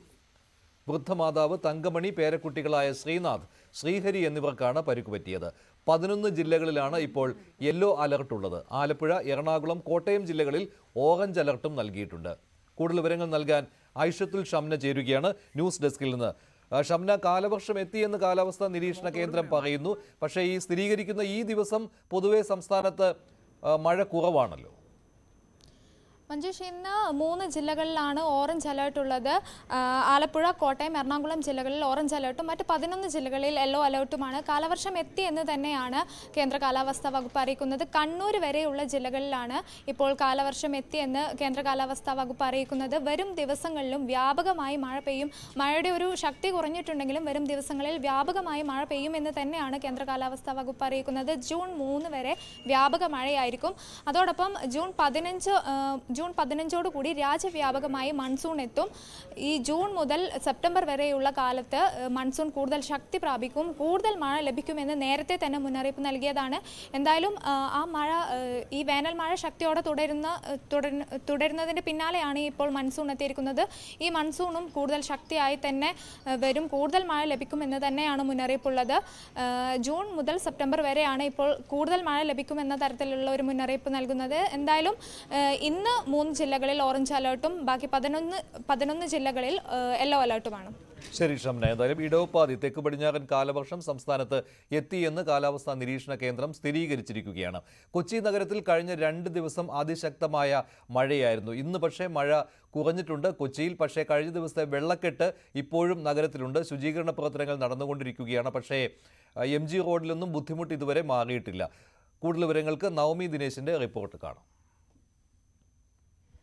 ഞാനിപ്പോൾ നിൽക്കുന്നത് കളമശ്ശേരി ചങ്ങമ്പുഴ നഗർ വി ആർ തങ്കപ്പൻ റോഡിലാണ്. ഈ കാണുന്ന ദൃശ്യങ്ങൾ ഇന്നലെ രാത്രി പെയ്ത മഴയുടെ ഒരു ബാക്കി പത്രമാണ്. ഇവിടെ മുട്ടറ്റം വരെ വെള്ളം എത്തി നിൽക്കുന്ന ഒരു സാഹചര്യമാണ്. വീടുകളിലും കടകളിലും അടക്കം വെള്ളം കയറിയ ഒരു സാഹചര്യം. വലിയ ദുരിതത്തിലാണ് ഇവിടെയുള്ള നഗരവാസികൾ ഈ വെള്ളം ഒഴുകി പോകുന്നതേ ഉള്ളൂ. സമീപ പ്രദേശത്തെ കനാലിലേക്ക് വെള്ളം ഒഴുകി പോയിക്കൊണ്ടിരിക്കുകയാണ്. ഈ നിൽക്കുന്ന ഈ കാണുന്നത് കാനയാണ്. കാന നിറഞ്ഞ് ആ കാനയിലുള്ള വെള്ളം പോലും ഒഴുകി പോകുന്നതാണ് കാന നിറഞ്ഞ് റോഡിലേക്ക് കവിയുന്ന ഒരു സാഹചര്യമാണ് നമ്മൾ ഇവിടെ എത്തിയപ്പോൾ കണ്ടത്. കൃത്യമായിട്ടുള്ള ഒരു ശുചീകരണ പ്രവർത്തനങ്ങളും ഈ കാനയുടെ ആഴം കൂട്ടാത്തതുമൊക്കെയാണ് ഈ വലിയൊരു വെള്ളപ്പൊക്കത്തിന് വെള്ളക്കെട്ടിന് കാരണമെന്നാണ് നാട്ടുകാരടക്കം ആരോപിക്കുന്നത്. ഇന്നലെ പെയ്ത മഴയിലാണ് ഇവിടെ ഇത്രയോളം വെള്ളക്കെട്ട് ഉണ്ടായത്. ഇതിനു മുൻപ് ഇന്നലെ അതിന്റെ തലേ ദിവസവും ഇതേപോലെ വെള്ളക്കെട്ട് ഇവിടെ രൂപപ്പെടുകയും ചെയ്തു. വീടുകളിലൊക്കെ വലിയ രീതിയിലുള്ള ശുചീകരണ പ്രവർത്തനങ്ങൾ നടക്കുകയാണ്. വീട്ടിന്റെ ഉള്ളിലൊക്കെ വെള്ളം കയറി നമുക്ക് ഈ ദൃശ്യങ്ങൾ കാണാം. ഈ വീടിന്റെ ഈ മതിലോട് ചേർന്ന് ഈ- ഭിത്തിയോട് ചേർന്ന് ഇത്ര അറ്റം വരെയാണ് ഇവിടെ വെള്ളം കയറിയത്. വീട്ടിനുള്ളവരൊക്കെ വീടിന്റെ ഉള്ളിലുള്ളവരൊക്കെ മുകളിലത്തെ നിലയിലേക്ക് മാറി താമസിച്ചതുകൊണ്ടാണ് വലിയൊരു അപകടം ഒഴിവാകാതിരുന്നത്. ദേ വീട്ടിനുള്ളിലേക്കൊക്കെ വെള്ളം കെട്ടി നിൽക്കുന്ന ഇവിടെ വൃത്തിയാക്കുകയാണ്. ഈ വെള്ളം ഒന്ന് പുറത്തേക്ക് കഴുകി കളയുന്ന ദൃശ്യങ്ങളാണ് നമ്മൾ ഈ കാണുന്നത്.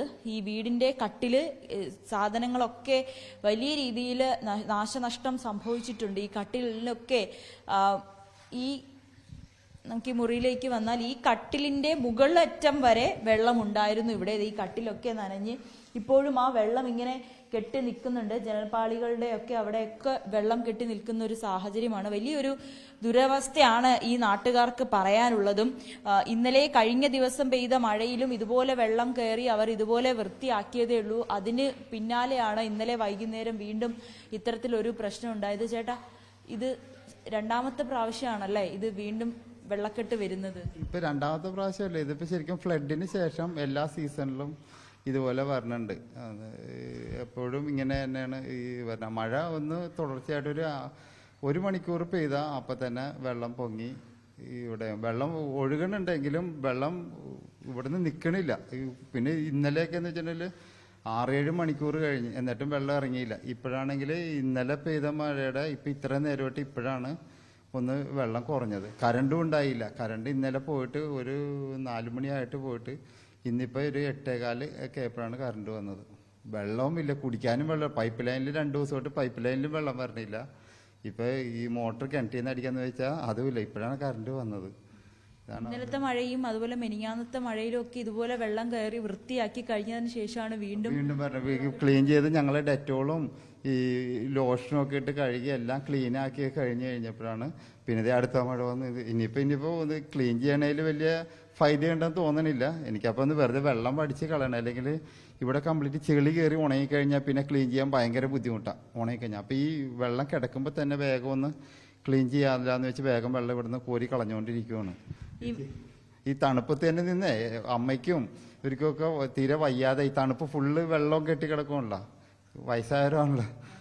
പിന്നെ വാടകക്കാരുണ്ടെന്ന്. അവരെ കഴിഞ്ഞ ദിവസം എന്നിട്ട് ഇത് മഴയപ്പോൾ തന്നെ വേഗം ഒഴിവാക്കി വിട്ട്. അതുകൊണ്ട് കുറേ ഇത് ബുദ്ധിമുട്ട് കുറഞ്ഞു അല്ലെങ്കിൽ അവരുടെ സാധനങ്ങളും ഒക്കെ നനഞ്ഞു പോയില്ലായിരുന്നു അതുകൊണ്ട് കുറേ അതും ഒരു ഭാഗ്യമായി. നിങ്ങൾ മുകളിലെ റൂമിലായിരുന്നു പിന്നെ മുകളിൽ താമസിച്ചത്? മുകളിലാണ് ഇന്നലെ അതുകൊണ്ട് പോയി താമസിച്ചത്. ഇനി വലിയൊരു മഴയാണ് വരാനിരിക്കുന്നത്. അപ്പൊ ഒരു ആശങ്കയില്ലേ? ആ ഇനി ഇപ്പോഴും ഇരുണ്ട് കൂടി നിൽക്കുവാണ് ഇനി എപ്പോഴേ ഇനി മഴ പെയ്യാം. അതേപോലെ ഇരുണ്ട് നിൽക്കുവാണ് വലിയൊരു ദുഃഖത്തിലേക്കാണ് ഈ വീട്ടുകാര് കാരണം ഈ താമസിക്കുന്ന വീടാണ് അതിങ്ങനെ വെള്ളം കയറി കിടന്നാൽ എന്ത് ചെയ്യുന്നാണ് ഇവരുടെ ഒരു ചോദ്യവും. ചേച്ചി വളരെ വിഷമിപ്പിക്കുന്ന ഒരു കാഴ്ചയാണ്. ഇന്നലെയും ഇതുപോലെ വൃത്തിയാക്കി വീണ്ടും വൃത്തിയാക്കി കഴിഞ്ഞു. അകത്ത് കയറുന്നതിന് മുമ്പ് അടുത്ത മഴ പെയ്ത് പിന്നെയും ഫുള്ള് വെള്ളമായി ചെയ്തിട്ടൊന്നും കാര്യമില്ല. പിന്നെ എന്നാൽ അകത്തും പുറത്തും വെള്ളം കെട്ടി കിടക്കുമ്പോൾ വീടിനും ദോഷമാണ്. പിന്നെ നമ്മളുടെ വീടല്ലേ? നശിച്ചു പോവില്ലേ? ആർക്കും വേറെ ആർക്കും ബുദ്ധിമുട്ടില്ല. വന്നവര് കണ്ടു നോക്കി പോവും. നമ്മൾ അനുഭവിക്കുക ഇതിനു മുമ്പും ഇവിടെ എം പിയും എം എൽ എമാരും അടക്കം വന്നിട്ടുണ്ട്. വന്നിട്ടുണ്ട് വന്നിട്ടുണ്ട് പക്ഷേ പരിഹാരം ആരും പരിഹാരം ചെയ്യാന്നൊക്കെ പറയാം. അവരൊന്നും ചെയ്യില്ല എന്നൊന്നും ആരും പറഞ്ഞിട്ടില്ല. പക്ഷേ പറയിൽ മാത്രമേ ഉള്ളൂ പ്രവൃത്തിയിലില്ല. ഈ കാനകളൊക്കെ ഇങ്ങനെ നിറഞ്ഞൊഴുകി അകത്തേക്കൊക്കെ വെള്ളം വരുന്നു. ഈ വൃത്തി ശുചീകരണ പ്രവർത്തനങ്ങളൊന്നും കൃത്യമായിട്ട് നടക്കുന്നുണ്ടോ? ഇപ്പൊ ഒക്കെ കുറവാ. മുന്നേ നടക്കുന്നുണ്ടെങ്കിലും മുനിസിപ്പാലിറ്റിയിൽ നിന്നൊക്കെ ആൾ വന്ന് പുറമേ കോരി വെക്കും. അത് എടുത്തുകൊണ്ട് പോകാനുള്ള ഒരു സംവിധാനം ചെയ്യില്ല. അടുത്ത മഴയ്ക്ക് അത് തിരിച്ചു ഒഴുകി പോവും. അത് കഴിയുമ്പോൾ ബാക്കി കുറച്ച് വേസ്റ്റ് ഉള്ളത് വന്ന് ഒരു വണ്ടി ഒന്ന് കൊണ്ടുപോകും. അത് അതിൽ പെട്ട് കഴിയുമ്പോൾ കന്നിൽ വയസ്സായ ഒരു അമ്മ അടക്കമുള്ള ഒരു വീടാണ്. ഇവരുടെ ഒരു മാനസിക വിഷമം നമുക്ക് ഊഹിക്കാവുന്നതേ ഉള്ളൂ. കാരണം താമസിക്കുന്ന വീടാണ്. ഇങ്ങനെ ഒരു വെള്ളം കെട്ടി വളരെ മോശം അവസ്ഥയിലേക്ക് നിന്നു കഴിഞ്ഞാൽ എന്ത് ഇവർ ചെയ്യും എന്നുള്ളൊരു ചോദ്യമാണ് ചോദിക്കുന്നത്. ഈ കാനകളിൽ നിന്നൊക്കെ വേസ്റ്റ് വാരി പ്ലാസ്റ്റിക്കുകളൊക്കെ വാരി പക്ഷേ ഇത് വീണ്ടും ആ ഈ കാനകളിൽ നിന്നും സൈഡിലേക്ക് കോരി വെക്കുന്നു എന്നുള്ളതല്ലാതെ അത് അവിടെ നിന്ന് എടുത്തുകൊണ്ട് പോകാൻ നഗരസഭയോ അല്ലെങ്കിൽ ശുചീകരണ തൊഴിലാളികളോ ഒന്നും ഇവിടെ എത്തുന്നില്ല. അത് തന്നെയാണ് ഇവരുടെ വലിയൊരു പരാതിയും. ഇത്തരത്തിൽ പോയി കഴിഞ്ഞാൽ താമസിക്കാൻ കഴിയാത്തൊരു അവസ്ഥയിലേക്ക് മാറും. നല്ല മഴയാണ്. രാവിലെ ഇന്നലെ രാത്രി ഉച്ചയോട് ഉച്ചയ്ക്ക് ശേഷം മുതൽ തുടങ്ങിയ മഴയാണ്. രാത്രിയോളം നല്ല മഴയായിട്ട് നിന്നു. ഇപ്പോൾ ഒരു മഴ മാറി നിന്നത് ചെറിയൊരു ആശ്വാസമാണ് കൊച്ചിക്കാർക്ക്. എങ്കിൽ പോലും ഇനിയും മഴ കനക്കുമെന്നാണ് മുന്നറിയിപ്പുള്ളത്. ഇനിയും ഇങ്ങനെ മഴ പെയ്ത് വെള്ളക്കെട്ടുണ്ടായാൽ വീടുകളിലൊക്കെ വെള്ളം കയറിയാൽ എങ്ങോട്ടേക്ക് താമസിക്കും എന്നുള്ളൊരു ചോദ്യമാണ് ഇവർ പ്രധാനമായും ഉന്നയിക്കുന്നത്. ഇനിയെങ്കിലും ഇതിനൊരു പരിഹാരം കാണണം. ഇതിനു മുൻപും ഇത്തരത്തിൽ വെള്ളക്കെട്ടുണ്ടായി. പ്രളയത്തിന് ശേഷം ഇത്തരത്തിൽ വെള്ളക്കെട്ടുണ്ടായിട്ടും ഇവിടെ വന്ന് പരിശോധിച്ച് അല്ലെങ്കിൽ നടപടിയെടുക്കാമെന്ന് പറഞ്ഞു പോകുന്നതല്ലാതെ അധികൃതരാരും ഇങ്ങോട്ടേക്ക് തിരിഞ്ഞു നോക്കുന്നില്ല എന്നുകൂടി ഇവർ പറഞ്ഞു വെക്കുന്നുണ്ട്. എന്തായാലും ഇന്നലെയും ഹൈക്കോടതിയുടെ ഭാഗത്തു നിന്നും വലിയ വിമർശനമാണ് ഇവർക്ക് ഈ കൊച്ചി കോർപ്പറേഷനും ഒപ്പം തന്നെ നഗരസഭകൾക്കും എതിരെ ഉണ്ടായത്. ഇങ്ങനെ പോയി കഴിഞ്ഞാൽ എന്താണ് ജനങ്ങൾ ചെയ്യുക എന്നുള്ളൊരു ചോദ്യം കൂടി ഹൈക്കോടതി ഇന്നലെ ഉന്നയിച്ചിരുന്നു. ഇവിടെ ഈ വീടുകളിലും എല്ലാ ഈ വീട് ഈ പരിസരത്തുള്ള എല്ലാ വീടുകളുടെയും അവസ്ഥ ഇത് തന്നെയാണ്. ഇവിടെ മാത്രമല്ല ഇടപ്പള്ളി ഭാഗങ്ങൾ കളമശ്ശേരി അതോടൊപ്പം തന്നെ ഈ Palarivattom K S R T C stand ഇവിടെ എല്ലാം തന്നെ ഈ വെള്ളത്തിൽ മുങ്ങിയ ഒരു അവസ്ഥയാണ്. ഇനി വരും മണിക്കൂറുകളിൽ മഴ കനക്കുകയാണെങ്കിൽ ഇവിടെ വീണ്ടും ഈ ജനങ്ങളുടെ ജീവിതം ദുരിതപൂർണമായി തീരുക തന്നെ ചെയ്യും. നവമി ദിനേശ് റിപ്പോർട്ട് നൽകിയത് കൊച്ചി നഗരത്തോട് ചേർന്ന് കിടക്കുന്ന. നഗരത്തിലെ തന്നെ ഇടപ്പള്ളിയിലെ ചങ്ങമ്പുഴ നഗറിൽ നിന്നാണ്. ഇതേ ദൃശ്യങ്ങളാണ് നഗരത്തിന്റെ പല ഭാഗത്തും ഉള്ളത്. മഴ ചെറിയ രീതിയിൽ മാറി എങ്കിൽ പോലും വെള്ളക്കെട്ടിന് ഒരു മാറ്റവും ഉണ്ടായിട്ടില്ല. കോട്ടയത്തും ഇതേ സ്ഥിതി തന്നെയാണ്. കോട്ടയം ജില്ലയുടെ കിഴക്കൻ മേഖലകളിൽ മലയിടിച്ചിലാണ്. പടിഞ്ഞാറൻ ഭാഗങ്ങളിലാകട്ടെ വലിയ വെള്ളക്കെട്ടുമാണ്. തിരുവാർപ്പ് ഐമനം കുമരകം തുടങ്ങിയ സ്ഥലങ്ങളിൽ ഇപ്പോഴും വെള്ളത്തിനടിയിലാണ് ഈ പ്രദേശങ്ങൾ. ദുരിതാശ്വാസ ക്യാമ്പുകളും തുറന്നിട്ടുണ്ട്. ജി ശ്രീജിത്ത് തയ്യാറാക്കിയ റിപ്പോർട്ട് കാണാം. കാലവർഷം എത്തിയെങ്കിലും കോട്ടയത്ത് അതിശക്തമായ ഒരു മഴ പെയ്യുന്നില്ല എന്ന് തന്നെ പറയേണ്ടി വരും. അതായത് ജില്ലയിൽ ആകെയല്ല പക്ഷേ ഒറ്റപ്പെട്ട ഇടങ്ങളിൽ ചിലയിടത്തെങ്കിലും മഴ പെയ്യുന്നുണ്ട്. ഇട ഇടയ്ക്ക് ചാറ്റൽ മഴയും എത്തുന്നുണ്ട്. എന്തായാലും വലിയൊരു പ്രളയം തുടരുന്ന നിലയിലേക്കുള്ള മഴയിലേക്ക് കാര്യങ്ങൾ എത്തിയിട്ടില്ല. ഒരുപക്ഷെ വൈകുന്നേരമോ രാത്രിയോ എന്താകും സാഹചര്യം എന്നുള്ളത് തീർച്ചയായും കാത്തിരുന്ന് തന്നെ കാണേണ്ടതാണ്. എന്തായാലും ജില്ലയിലെ ഏറ്റവും വലിയ ദുരിതം അത് പടിഞ്ഞാറൻ മേഖലയിലാണ്. അയ്മനവും തിരുവാർപ്പ കുമരകം ഒപ്പം തന്നെ വൈക്കം ഈ മേഖലയിലാകെ അതിന്റെ പടിഞ്ഞാറൻ മേഖലയിൽ അതായത് താഴ്ന്ന പ്രദേശങ്ങളിൽ ആകെ വെള്ളക്കെട്ട് രൂപപ്പെട്ടിട്ടുണ്ട്. നിരവധി വീടുകൾ വെള്ളത്തിലാകുന്ന സ്ഥിതിവിശേഷമുണ്ട്. കോട്ടയം കുമരകം റോഡിലും വെള്ളം കയറിയിട്ടുണ്ട് ഇല്ലിക്കൽ അടക്കം വിവിധ മേഖലകളിൽ തിരുവാർപ്പിലും സമാനമാണ് സാഹചര്യം. പക്ഷേ ഇവിടെയൊന്നും ഗതാഗതം നിലവിൽ തടസ്സപ്പെട്ടിട്ടില്ല. കൂടുതൽ മഴ പെയ്യുകയും വെള്ളം എത്തുകയും ചെയ്താൽ അത് വലിയ ദുരിതത്തിലേക്ക് കാര്യങ്ങൾ പോകും. പ്രത്യേകിച്ച് പാടങ്ങളും നദികളും എല്ലാം ഏതാണ്ട് നിറ നിറഞ്ഞു നിൽക്കുന്ന ഒരു സാഹചര്യമാണുള്ളത്. ഈ കിഴക്കൻ മേഖലയിൽ പ്രത്യേകിച്ച് ഈരാറ്റുപേട്ട അതുപോലെ തന്നെ മുണ്ടക്കയ മുണ്ടക്കയത്തിന്റെ കിഴക്കൻ ഭാഗങ്ങൾ അവിടെയെല്ലാം ഉരുൾപൊട്ടൽ സാധ്യതാ മേഖലകളാണ്. അവിടെ വലിയ ആശങ്ക തുടരുന്ന ഒരു സാഹചര്യമുണ്ട്. എന്തായാലും പൂർണമായും തെളിഞ്ഞൊരു കാലാവസ്ഥയിലേക്ക് ഇടയ്ക്ക് മാത്രമാണ് ഒന്ന് എത്തുന്നത് എന്ന് തന്നെ പറയേണ്ടി വരും. അതായത് മഴ ഒഴിഞ്ഞിട്ടില്ല എന്നുള്ളത് തന്നെയാണ്. എന്തായാലും യെല്ലോ അലർട്ട് തുടരുന്ന സാഹചര്യത്തിൽ അത് വരും മണിക്കൂറുകളിലെല്ലാം അത് വലിയൊരു ആശങ്കയായി തന്നെ നിൽക്കുമെന്ന കാര്യത്തിൽ യാതൊരു സംശയവുമില്ല. ഇരുപത്തിയെട്ട് ക്യാമ്പുകളാണ് ജില്ലയിൽ പ്രവർത്തിക്കുന്നത്. ഏതാണ്ട് അഞ്ഞൂറിലധികം ആളുകൾ ദുരിതാശ്വാസ ക്യാമ്പുകളിൽ കഴിയുന്നുണ്ട് എന്നുള്ളതാണ് ജില്ലാ ഭരണകൂടം ഔദ്യോഗികമായി ഏറ്റവും ഒടുവിൽ അറിയിക്കുന്ന വിവരം. എന്തായാലും ജില്ലയിലെ പ്രത്യേകിച്ച് ഈ അപ്പർ കുട്ടനാടൻ മേഖലയിലെ വലിയ ദുരിതം തുടരുന്ന കാഴ്ചയാണ് ഇന്നും നമുക്ക് കാണാൻ കഴിഞ്ഞത്.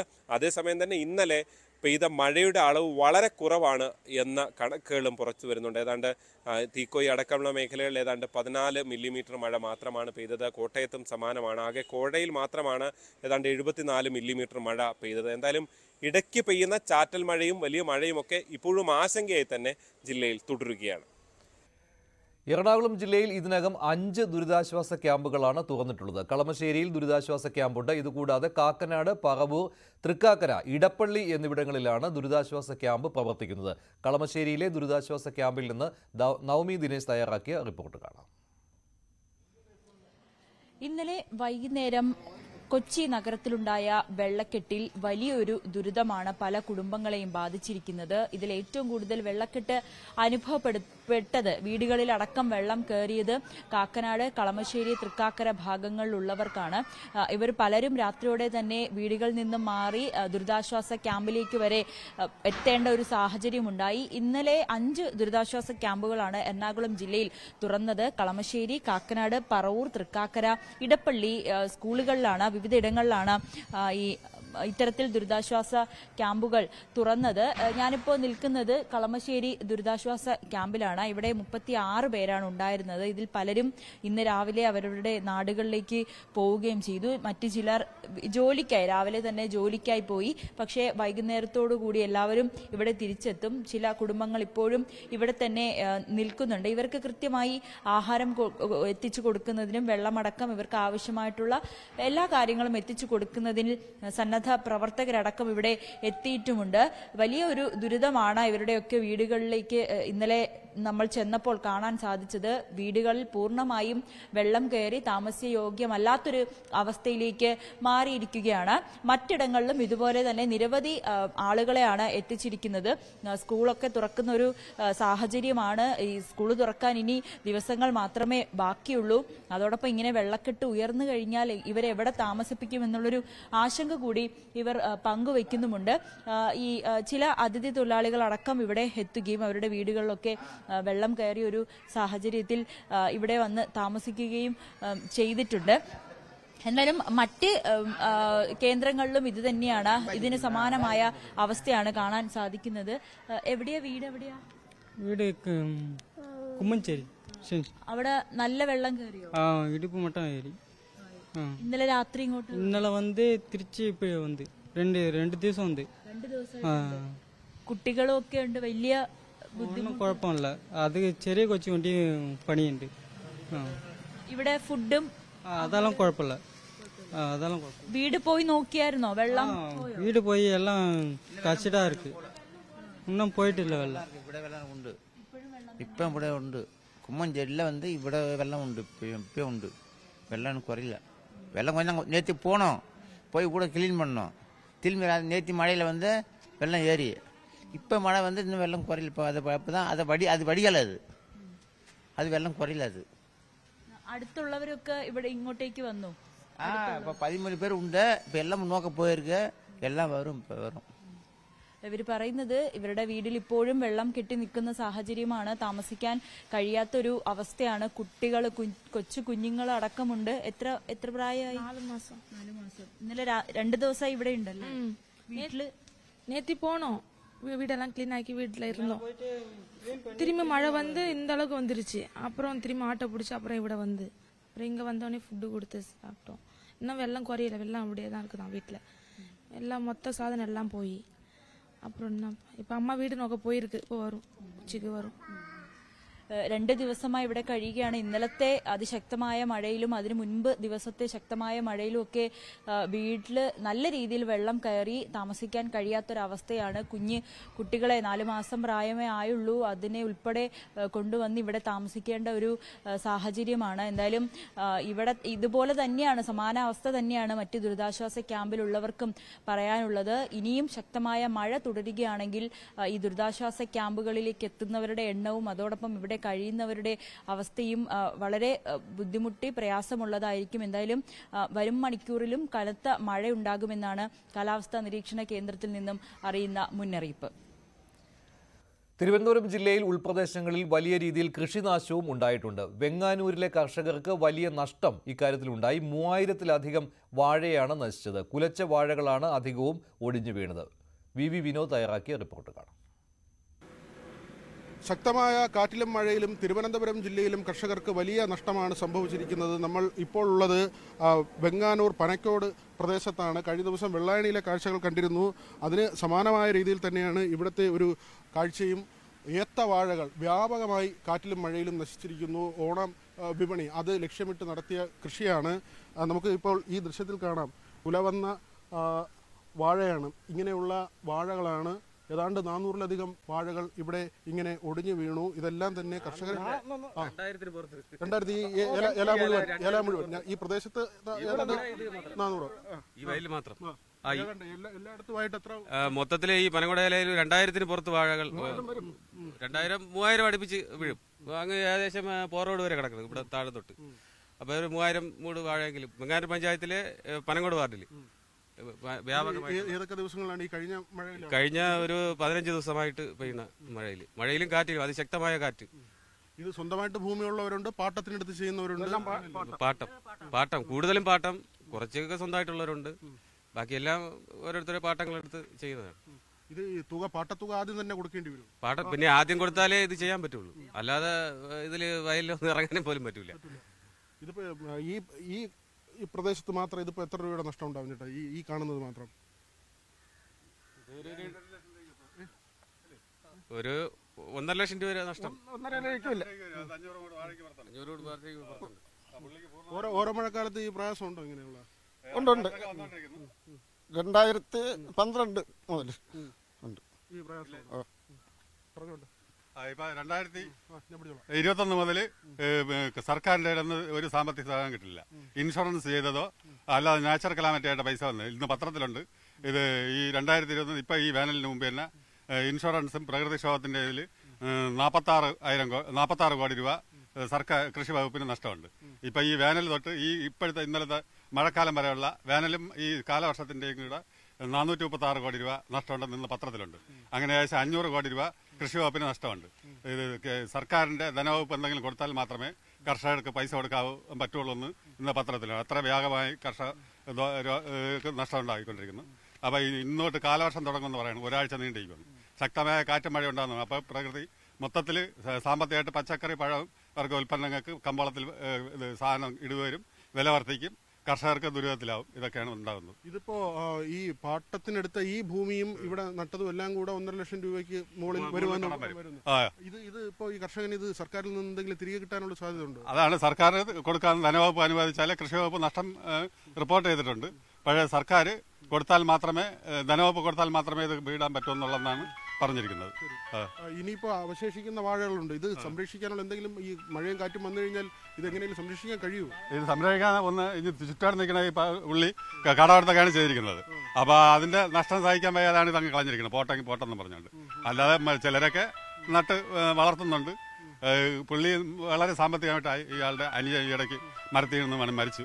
അങ്ങനെ വളരെ ബുദ്ധിമുട്ടിലാണ്. അങ്ങനെ ഉള്ള സാമ്പത്തിക ബുദ്ധിമുട്ടായിട്ട് പുള്ള ബുദ്ധിമുട്ടിയാണ് ഇത് ചെയ്ത് ഉപയോഗിച്ചിട്ടിരിക്കുന്നത്. പാട്ടകൃഷിയാണ് ഇത് ഇങ്ങനെ ഈ ഊന്നു കൊടുത്തും കയറ് കെട്ടിയൊക്കെ നിർത്തുന്ന കണ്ടിട്ടുണ്ടോ? അങ്ങനെ നമുക്ക് അങ്ങനെ നിർത്താൻ പറ്റുന്ന നിർത്തിയാലും നിൽക്കില്ല അത്. കാറ്റത്ത് അതും കൂടെ പോകും അത് മൂടോടെ പിഴുത് കിടക്കുന്നത് കമ്പോടെ പിഴുത് കിടക്കുന്നത് വേണമെങ്കിൽ കാണിച്ചു തരാം. കാറ്റ് അങ്ങനത്തെ കാറ്റാണ് മുപ്പത് ദിവസത്തേക്ക് മുമ്പാണ് ഇത് വീഴുന്നത്. അപ്പൊ ഇത് കൊലച്ച് തുടങ്ങിയുള്ളായിരുന്നു കെട്ടാനാകും ആ ഒറ്റയടിക്ക് അത്ര പോയതുകൊണ്ടാണ് പുള്ളി ഇതിനെ കൂടെ അങ്ങ് വിട്ടിരിക്കുന്നത് വിട്ടത്. ആ. അത് പോയിട്ട് ബംഗാര പഞ്ചായത്തിൽ പനങ്ങോട് വാർഡ് ഇതുവരെ ശ്രദ്ധിക്കപ്പെട്ടില്ല. ഇപ്പോഴാണ് ആദ്യമായിട്ട് ഇങ്ങനെ വന്നത്. കാര്യം ആരും അവരൊക്കെ അറിഞ്ഞുകൂടാ അതുകൊണ്ടാണ് ഇങ്ങനെ സംഭവിച്ചതാണ് ഒരുപാട് ഒരുപാട് വർഷം കൊണ്ട് കൃഷിനാശം സംഭവിക്കുന്നുണ്ട്. കർഷകരെ സംബന്ധിച്ച് ഇതൊരു വലിയ നഷ്ടമാണ്. നമ്മൾ കഴിഞ്ഞ ദിവസം കണ്ടതാണ്. ഇപ്പോൾ അവർ പറയുന്നത് അവരുടെ ഒരു പ്രതിസന്ധി മാത്രമല്ല അവരുടെ ജീവിതം കണ്ണീരിലാകുന്നതാണ്. കാരണം കടം വാങ്ങിയും ലോൺ എടുത്തും ആ, തരത്തിൽ പാട്ടത്തുക നൽകിയും ഒക്കെ കൃഷി ചെയ്യുന്ന കർഷകരാണ്. നമ്മുടെ നാട്ടിൽ ഏറ്റവും കൂടുതൽ സംരക്ഷിക്കപ്പെടേണ്ട ഒരു വിഭാഗം എന്ന് തന്നെ പറയേണ്ടതാണ്. കർഷകർക്ക് പെൻഷൻ കൊടുക്കുന്ന കാര്യം പോലും ഒരുപക്ഷെ നേരത്തെ സർക്കാരുകൾ ആലോചിച്ചിരുന്നതാണ്. അതൊന്നും നടപ്പായില്ല. പക്ഷേ ഇവർക്ക് ഈ ഉണ്ടായ നഷ്ടമെങ്കിലും നികത്താനുള്ള നടപടികൾ അത് വേണമെന്ന ആവശ്യമാണ് ഉയരുന്നത്. C വിനോദിനൊപ്പം V V Vinod news eighteen Thiruvananthapuram. സർക്കാരിനെതിരെ പ്രതിപക്ഷം രംഗത്തെത്തിയിരിക്കുകയാണ്. മഴക്കാല പൂർവ ശുചീകരണത്തിൽ സർക്കാർ വീഴ്ച വരുത്തിയെന്നാണ് പ്രതിപക്ഷത്തിന്റെ ആരോപണം. ഇതാണ് തിരുവനന്തപുരത്തും കൊച്ചിയിലും പ്രളയ സമാനമായ സ്ഥിതി ഉണ്ടാവാൻ കാരണമെന്ന് U D F convener M M Hassan പറഞ്ഞു.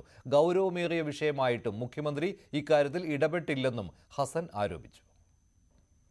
കാലവർഷം ജൂൺ ഒന്നാം തീയതി ആരംഭിക്കുമെന്ന് നേരത്തെ തന്നെ കാലാവസ്ഥ പ്രവചനമുണ്ടായിരുന്നു മുൻകാലങ്ങളിലൊക്കെ ഗവൺമെന്റ് ഓരോ ജില്ലയ്ക്കും മന്ത്രിമാരെ ചുമതലപ്പെടുത്തും മന്ത്രിമാര് പോയി കളക്ടർമാരുമായിട്ട് ഇരുന്ന് ജനപ്രതിനിധികളുടെ തദ്ദേശ സ്ഥാപനങ്ങളുടെ ഒക്കെ യോഗം വിളിച്ച് ഈ കാലവർഷം വരുമ്പോൾ വെള്ളപ്പൊക്കം അതുപോലുള്ള ജലജന്യമായ രോഗങ്ങൾ ഇതിനെയൊക്കെ നേരിടാൻ മഴക്കാല പൂർവ ശുചീകരണം ഇത് സംബന്ധിച്ചൊക്കെ വളരെ ശക്തമായ നടപടികൾ സ്വീകരിക്കും. മറ്റൊരു വാർത്തയിലേക്ക്. വിഷു ബമ്പർ ലോട്ടറി അടിച്ചയാളെ കണ്ടെത്തി. ബമ്പർ സമ്മാനമായ പന്ത്രണ്ട് കോടി രൂപ ആലപ്പുഴ പഴവീട് സ്വദേശിയായ വിശ്വംഭരനാണ് അടിച്ചത്. പഴവീട് സ്വദേശി തന്നെയായ ലോട്ടറി ഏജന്റിൽ നിന്നാണ് ടിക്കറ്റ് വാങ്ങിയത്. ഇന്നലെ രാത്രിയാണ് ലോട്ടറി അടിച്ച വിവരം വിശ്വംഭരനും കുടുംബവും അറിയുന്നത്. വിശ്വംഭരന്റെ പ്രതികരണത്തിൽ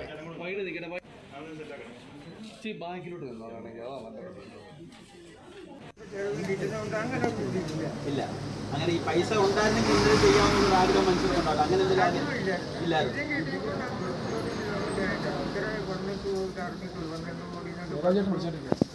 ശരണ്യ സ്നേഹത്തിൽ ചേരുകയാണ് ആലപ്പുഴയിൽ നിന്ന്. ശരണ്യ എന്താണ് വിശ്വംഭരന്റെ കൂടുതൽ വിവരങ്ങൾ? അതുപോലെ ഇത്ര വൈകിയത് എന്തുകൊണ്ടാണ്? ഇന്ന് രാവിലെ ഏതാണ്ട് ഒരു പന്ത്രണ്ട് മണിയോടുകൂടിയാണല്ലോ ആരാണ് ഭാഗ്യവാൻ എന്ന വിവരം കണ്ടെത്തിയത്?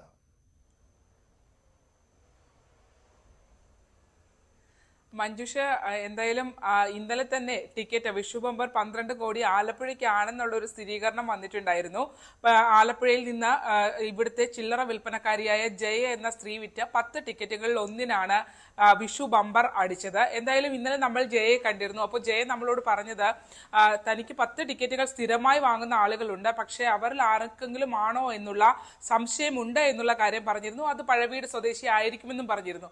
പക്ഷേ ഇന്നലെ വരെ ആ സസ്പെൻസ് നിലനിന്ന് പോന്നിരുന്നു. ഇന്നിപ്പോ പന്ത്രണ്ട് മണിയോട് കൂടിയാണ് അത് വിശ്വംഭരനാണ് എന്നുള്ളത് തിരിച്ചറിഞ്ഞത്. എഴുപത്തി ആറുകാരനായ വിശ്വംഭരൻ പഴവീട് സ്വദേശിയാണ്. അദ്ദേഹം സി ആർ പി എഫിൽ നിന്നും വിരമിച്ച് പിന്നീട് ലളിത ജീവിതം നയിക്കുന്ന ഒരാളാണ്. എന്തായാലും ആ ഒരു വലിയ ഭാഗ്യം വിശ്വംഭരനെ തേടി എത്തുമ്പോഴും വലിയ ഒരു അതിന്റെ ഞെട്ടലോ ആകാംക്ഷയോ ഒന്നും വിശ്വംഭരനില്ല. അദ്ദേഹം പറയുന്നത് താൻ ലളിതമായി ജീവിക്കുന്ന ആളാണ്. തനിക്ക് അത്രയധികം ഒരു പണത്തിന്റെ ആവശ്യമില്ല. തന്റെ പണത്തിന് തനിക്ക് ലഭിക്കുന്ന പണത്തിന്റെ വിഹിതം ഒരു വിഹിതം പാവപ്പെട്ട ചില ആളുകൾക്ക് വീട് വെച്ച് നൽകാനായി നൽകുമെന്നാണ് അദ്ദേഹം പറഞ്ഞിട്ടുള്ളത്. മാത്രമല്ല രണ്ട് പെൺമക്കളുണ്ട്. ആ രണ്ട് പെൺമക്കളുടെ ഭവന നിർമ്മാണത്തിനൊക്കെയായി ഈ പണം ഉപയോഗിക്കും. സഹോദരിയുടെ ഒപ്പമാണ് താമസിക്കുന്നത്. അതുകൊണ്ട് സഹോദരിക്കും കുറച്ച് സഹായങ്ങൾ ചെയ്യുമെന്ന് പറയുന്നുണ്ട്. എന്തായാലും ഇത് ഈ ഈ വാർത്ത കേട്ടതിന്റെ ഒരു എക്സൈറ്റ്മെന്റ് ഒന്നും അദ്ദേഹത്തിന് ഇല്ല എന്ന് തന്നെയാണ് അദ്ദേഹം പറയുന്നത്. ഇപ്പോ ബാങ്കിൽ എത്തിയിരിക്കുകയാണ്. ബാങ്കിൽ ആ പണം കൈമാറുന്നതുമായി ബന്ധപ്പെട്ട് ഇപ്പോൾ മറ്റ് നടപടിക്രമങ്ങൾക്കായി എത്തിയിട്ടുണ്ട്. ആലപ്പുഴയിൽ തന്നെ കൈതവന ജംഗ്ഷനിലുള്ള തൃക്കാക്കര ഏജൻസി അനിൽകുമാർ എന്ന വ്യക്തി നടത്തുന്ന തൃക്കാക്കര ഏജൻസിയിൽ നിന്നും ചില്ലറ വിൽപ്പനക്കാരിയായ ജയ വാങ്ങിയ ടിക്കറ്റാണ് അടിച്ചത്. ജയയും ഈ സമ്മാനം അടിച്ചു എന്നറിഞ്ഞപ്പോൾ തന്നെ ജയക്കും ഇതുവരെ അടിച്ചിട്ടുള്ളത് ഒരു മുപ്പതിനായിരം രൂപ വരെയുള്ള ടിക്കറ്റുകളൊക്കെയാണ് വീട്ടിട്ട് ജയയ്ക്ക് സമ്മാനം അടിച്ചിട്ടുള്ളത്. ഇത്ര വലിയൊരു തുക അടിക്കുന്നത് ആദ്യമായാണ്. മാത്രമല്ല ഇതിന്റെ ഈ ടിക്കറ്റ് വിറ്റ ഏജൻസിക്കും ഒരു കോടി ഇരുപത് ലക്ഷത്തോളം രൂപ ലഭ്യമാകും. അതിൽ തന്നെ അത് പകുതി അതായത് അനിൽകുമാർ പറഞ്ഞത് അത് രണ്ടും ഞങ്ങൾ ജയയും അനിൽകുമാറും പപ്പാതി ആ തുക എടുക്കുമെന്നാണ് അവർ പറഞ്ഞിരിക്കുന്നത്. എന്തായാലും വിശ്വംഭരൻ ചേട്ടനാണ് ആ ഒരു വലിയ ഭാഗ്യം ആലപ്പുഴയിൽ നിന്ന് നേടിയിരിക്കുന്നത്. ക്ഷമിക്കണം ഇത് നേടിയ ഘട്ടത്തിലും അദ്ദേഹത്തിന് ആ ഒരു എക്സൈറ്റ്മെന്റ് ഒന്നുമില്ല. മഞ്ജുഷ്. ശരി ആലപ്പുഴ പഴവീട് സ്വദേശിയായ വിശ്വംഭരനാണ് പന്ത്രണ്ട് കോടി രൂപയുടെ വിഷു ബമ്പർ ലോട്ടറി അടിച്ചത്. ഹൈക്കോടതി ഇന്ന് എസ് എഫ് ഐ ഒ കേസിൽ ഒരു ഹർജി തീർപ്പാക്കി മറ്റൊരു ഹർജിയിൽ വിശദമായ വാദം കേൾക്കാനും തീരുമാനിച്ചു. ഷോൺ ജോർജിന്റെ ഹർജിയാണ് തീർപ്പാക്കിയത്. അതേസമയം കെ എസ് ഐ ഡി സിയുടെ ഹർജിയിൽ ഹൈക്കോടതി വിശദമായ വാദം കേൾക്കും. മാസപ്പടി കേസിൽ എസ് എഫ് ഐ ഒ അന്വേഷണത്തെക്കുറിച്ചുള്ളതായിരുന്നു. ഈ ഹർജികൾ കൂടുതൽ വിവരങ്ങളുമായി ആജ്ഞ രവീന്ദ്രൻ ചേരുകയാണ് കൊച്ചിയിൽ നിന്ന്. ആജ്ഞ ഇതിലൊരു ഉപഹർജിയും വന്നിരുന്നു ഷോൺ ജോർജിന്റെ മുഖ്യമന്ത്രിയുടെ മകളുടെ അബുദാബിയിലെ അക്കൗണ്ടിനെ കുറിച്ചുള്ള വിവരങ്ങളും. എന്താണ് ഇന്ന് ഹൈക്കോടതി ഷോണിന്റെ ഹർജി തീർപ്പാക്കാൻ കാരണം?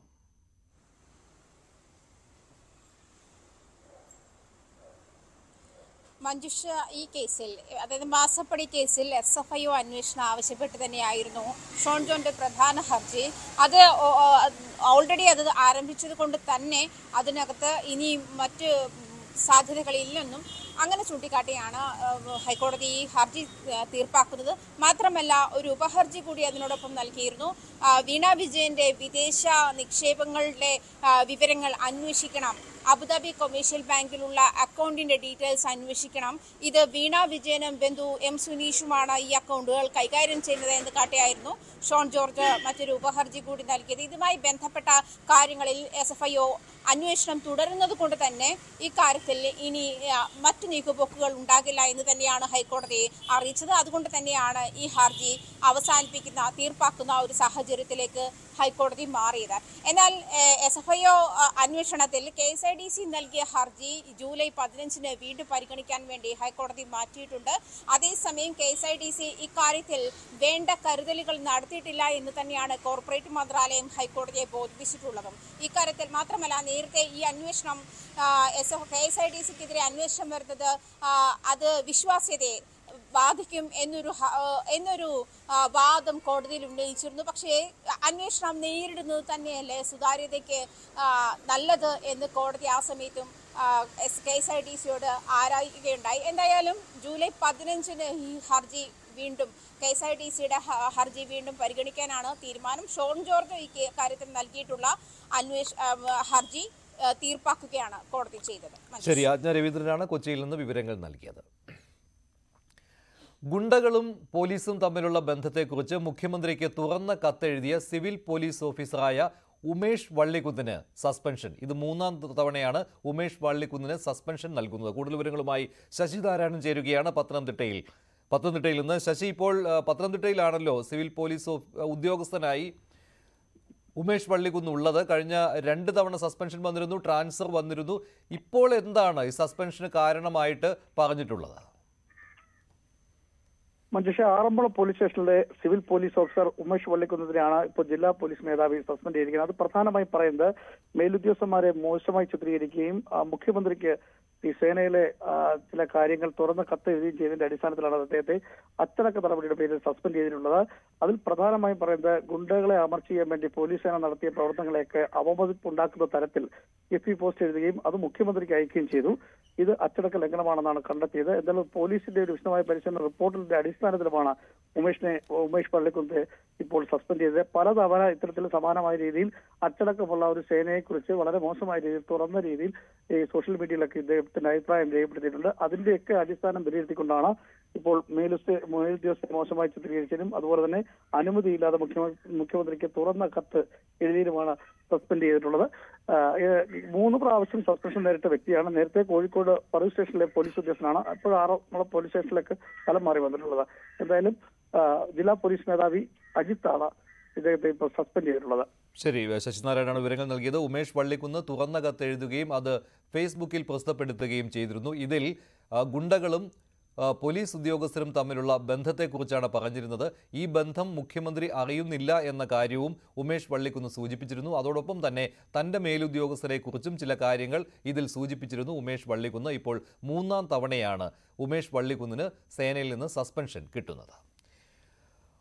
കേസിൽ പ്രതികളാക്കുമെന്ന് ഭീഷണിപ്പെടുത്തി കൈക്കൂലി വാങ്ങിയ പോലീസ് ഉദ്യോഗസ്ഥർക്കെതിരെ കേസെടുത്തു. Valanchery C I Sunil Das S I Bindulal ഇവരുടെ സഹായി അസൈനാർ എന്നിവർക്കെതിരെയാണ് തിരൂർ ഡിവൈഎസ്പി കേസെടുത്തത്. എസ് ഐ പത്ത് ലക്ഷവും സി ഐ എട്ട് ലക്ഷവും മൂന്നാം പ്രതി നാല് ലക്ഷവും തട്ടിയെന്നാണ് എഫ്ഐആറിൽ പറയുന്നത്. സി ഐയും എസ് ഐയും ഇപ്പോൾ ഒളിവിലാണ്. വിവരങ്ങളുമായി സി വി അനുമോദ് ചേരുന്നു. അനുമോദ് ഓരോ ദിവസവും പോലീസ് സേനയുടെ യശസ്സിന് കീ മോശം ഉണ്ടാക്കുന്ന രീതിയിലുള്ള കാര്യങ്ങളാണ് സംഭവിക്കുന്നത്. അല്പം മുമ്പാണ് ഇക്കാര്യങ്ങൾ ചൂണ്ടിക്കാട്ടിയ ഒരു സിവിൽ പോലീസ് ഉദ്യോഗസ്ഥന് സസ്പെൻഷൻ കിട്ടിയത്. ഇപ്പോൾ സമാനമായ സംഭവം ആവർത്തിച്ചിരിക്കുകയാണല്ലോ.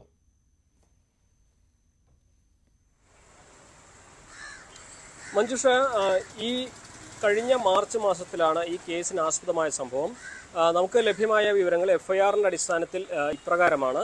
മാർച്ച് മുപ്പതാം തീയതി വളാഞ്ചേരിയിൽ വലിയ തോതിലുള്ള അളവിലുള്ള സ്ഫോടക വസ്തുക്കൾ പോലീസ് പിടികൂടിയിരുന്നു.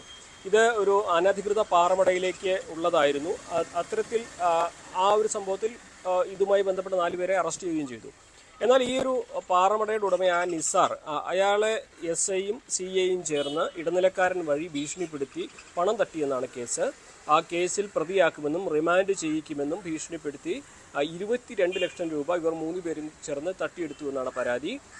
സി ഐ എട്ട് ലക്ഷവും എസ് ഐ പത്ത് ലക്ഷവും ഇടനിലക്കാരനായ അസൈനാർ നാല് ലക്ഷവും തട്ടിയെടുത്തു എന്നാണ് പരാതി. ഈ- നിസാർ തന്നെയാണ് ഈ വിവരം പോലീസിനെ അറിയിച്ചത് എസ് പിയെ അറിയിച്ചത്. എസ് പി വഴി അത് തിരൂർ ഡിവൈഎസ്പിക്ക് ഈ ഒരു നിർദ്ദേശം ലഭിക്കുകയും തിരൂർ ഡിവൈഎസ്പി നടത്തിയ അന്വേഷണത്തിനൊടുവിലാണ് ഇപ്പോൾ ഇവർക്കെതിരെ ഈ ഒരു കേസ് എടുത്തിരിക്കുന്നത് കൊള്ളയടിക്കൽ അതായത് കൈക്കൂലി വഞ്ചന അതേപോലെ കുറ്റകരമായ ഗൂഢാലോചന തുടങ്ങിയ ഐ പി സി കുറ്റങ്ങളാണ് വകുപ്പുകൾ ഉപയോഗിച്ചുള്ള കുറ്റങ്ങളാണ് ഇവർക്കെതിരെ ചുമത്തിയിരിക്കുന്നത്. ഇവർക്ക് ഇത് ഇതിന് പുറമെ വകുപ്പ് തലമായിട്ടുള്ള നടപടികൾ വേറെയും ഉണ്ടാകും. എന്നാണെങ്കിലും ഈ ഒരു സംഭവവുമായി ബന്ധപ്പെട്ടപ്പോൾ തിരൂർ ഡിവൈഎസ്പി നടപടികൾ പൂർത്തീകരിച്ചിരിക്കുന്നു. സി ഐയും എസ് ഐയും ഇപ്പോൾ എവിടെയാണെന്ന് അറിയുകയില്ല. അവർക്കും നടപടികൾ നേരിടേണ്ടി വരും. വകുപ്പ് തല നടപടികൾ ഇതിന് പിന്നാലെ വരികയും ചെയ്യും. ഇതുമായി ബന്ധപ്പെട്ട് എസ് പിയുടെ ഭാഗത്തു നിന്നും മറ്റ് ഉന്നത ഉദ്യോഗസ്ഥരുടെ ഭാഗത്തു നിന്നും ഔദ്യോഗികമായിട്ടുള്ള ഒരു പ്രതികരണം ലഭിച്ചിട്ടില്ല. ഒരുപക്ഷെ സസ്പെൻഷൻ അടക്കമുള്ള കാര്യങ്ങൾ വകുപ്പ് തല നിർദ്ദേശങ്ങൾക്കനുസരിച്ചായിരിക്കും അതിന്റെ നടപടികൾ ഉണ്ടാവുക എന്നാണ് അറിയാനാകുന്നത്. എന്നാണെങ്കിൽ സേനയെ സംബന്ധിച്ച് ഏറെ നാണക്കേടുണ്ടാക്കുന്ന ഒരു സംഭവം തന്നെയാണ് ഇതെന്ന് വ്യക്തമാണ്. ശരി ശരി. അനുമോദ് എന്തായാലും വളരെ നാണക്കേടുണ്ടാക്കുകയാണ് പോലീസ് സേനയ്ക്ക്. ഇത്തരം പ്രവൃത്തികൾ മൂന്ന് പേർ അതിലൊരു സി ഐയും ഒരു എസ് ഐയും ഉൾപ്പെടുന്നു. ഒരു പോലീസുകാരനും ഇതിലുണ്ട്.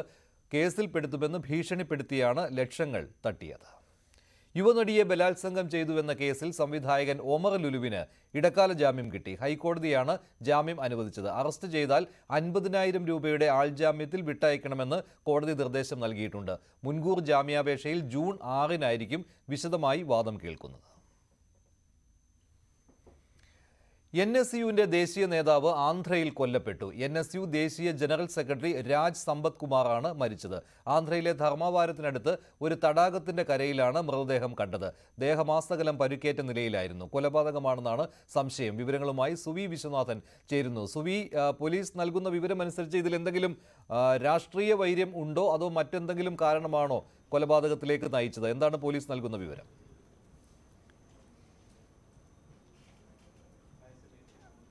എൻ എസ് യു ദേശീയ നേതാവായ രാജ്കുമാർ സമ്പത്തിന്റെ ഭൂമി ഇടപാട് കേസിൽ വലിയ പ്രശ്നങ്ങൾ ഉണ്ടായിരുന്നു ആ പ്രശ്നങ്ങളാണോ അതോ വ്യക്തിവൈരാഗ്യമാണോ അദ്ദേഹത്തിന്റെ കൊലപാതകത്തിലേക്ക് നയിച്ചത് എന്നൊരു സംശയമാണ് പോലീസിനുള്ളത്. ഇക്കാര്യത്തിൽ ഒരു സ്ഥിരീകരണം ഉണ്ടായിട്ടില്ല. ഇന്ന് രാവിലെയാണ് സംഭവം ഉണ്ടായിരിക്കുന്നത്.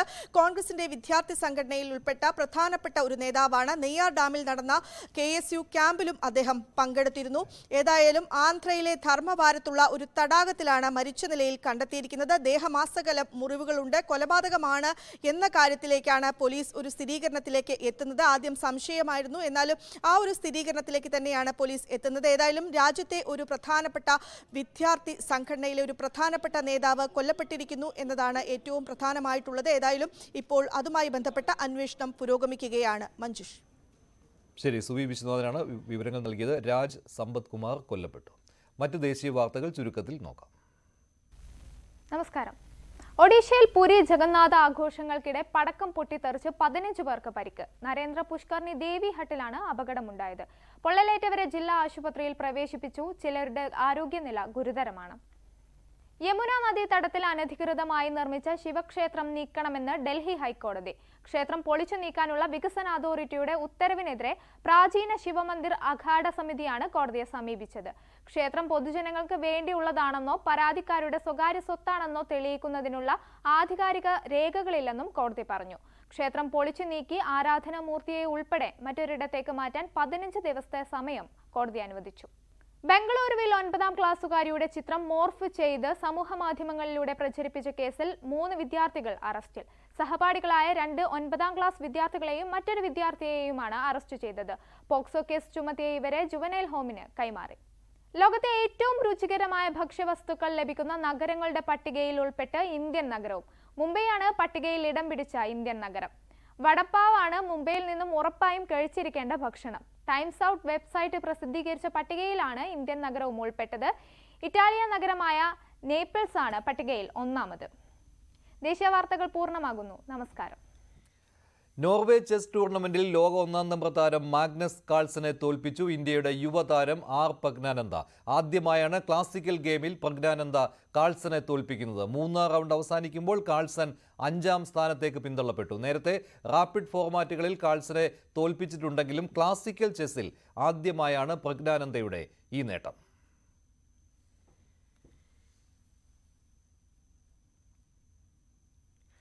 ഇനി ചില ലോക വാർത്തകൾ നോക്കാം. കൃഷ്ണേന്ദു.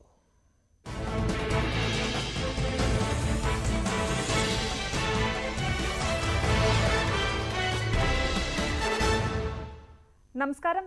ലോക വാർത്തകളിലേക്ക് സ്വാഗതം. ഇറാൻ പ്രസിഡന്റ് തെരഞ്ഞെടുപ്പിനുള്ള രജിസ്ട്രേഷൻ ആരംഭിച്ചു. ഈ മാസം ആദ്യം ഹെലികോപ്റ്റർ അപകടത്തിൽ മരിച്ച ഇബ്രാഹിം റേസിക്ക് പകരക്കാരനായി ജൂൺ ഇരുപത്തിയെട്ടിന് നടക്കുന്ന പ്രസിഡന്റ് തെരഞ്ഞെടുപ്പിൽ മത്സരിക്കാൻ ആഗ്രഹിക്കുന്നവർക്കായി ഇറാൻ അഞ്ച് ദിവസത്തെ രജിസ്ട്രേഷൻ ആരംഭിച്ചു. മെയ് പത്തൊൻപതിലെ ഹെലികോപ്റ്റർ അപകടവും തെഹ്റാനും യുണൈറ്റഡ് സ്റ്റേറ്റ്സും തമ്മിലുള്ള വർദ്ധിച്ചു വരുന്ന പിരിമുറുക്കങ്ങളും. രണ്ടായിരത്തി ഇരുപത്തിരണ്ടിലെ മേസ അമ്നിയുടെ മരണവുമായി ബന്ധപ്പെട്ട പ്രതിഷേധങ്ങളും രാജ്യത്തുടനീളം വ്യാപിച്ച സാഹചര്യത്തിലാണ് ഇറാൻ തിരഞ്ഞെടുപ്പ് വരുന്നത്. അഞ്ച് ദിവസത്തെ കാലയളവിൽ നാൽപ്പതിനും എഴുപത്തിയഞ്ചിനും ഇടയിൽ പ്രായമുള്ള കുറഞ്ഞത് ഒരു മാസ്റ്റർ ബിരുദവുമുള്ള ആളുകൾക്ക് രജിസ്റ്റർ ചെയ്യാനാകും. സ്ഥാനാർത്ഥികൾ ഇറാനിലെ പന്ത്രണ്ടംഗ ഗാർഡിയൻ കൗൺസിലിന്റെ അംഗീകാരം നേടിയിരിക്കണം. ഇന്ത്യൻ സ്വകാര്യ ബഹിരാകാശ കമ്പനിയായ അഗ്നികുൽ കോസ്മോസ് പൂർണമായും തദ്ദേശീയമായി വികസിപ്പിച്ച Agnibaan sub orbital tech demonstrator rocket വിജയകരമായി പരീക്ഷിച്ചു. സെമി ക്രയോജനിക് എഞ്ചിൻ ഉപയോഗിച്ചുള്ള ഇന്ത്യയുടെ ആദ്യ പരീക്ഷണമാണിത്. രാവിലെ ഏഴ് പതിനഞ്ചിന് ശ്രീഹരിക്കോട്ടയിലെ സതീഷ് ധവാൻ ബഹിരാകാശ നിലയത്തിലെ വിക്ഷേപണ തറയിൽ നടത്തിയ വിക്ഷേപണം വിജയിച്ചതായി ഐ എസ് ആർഒ എക്സിൽ അറിയിച്ചു. ഇടവേളയ്ക്ക് ശേഷം സ്പോട്ട് ലൈവ് കാണാം.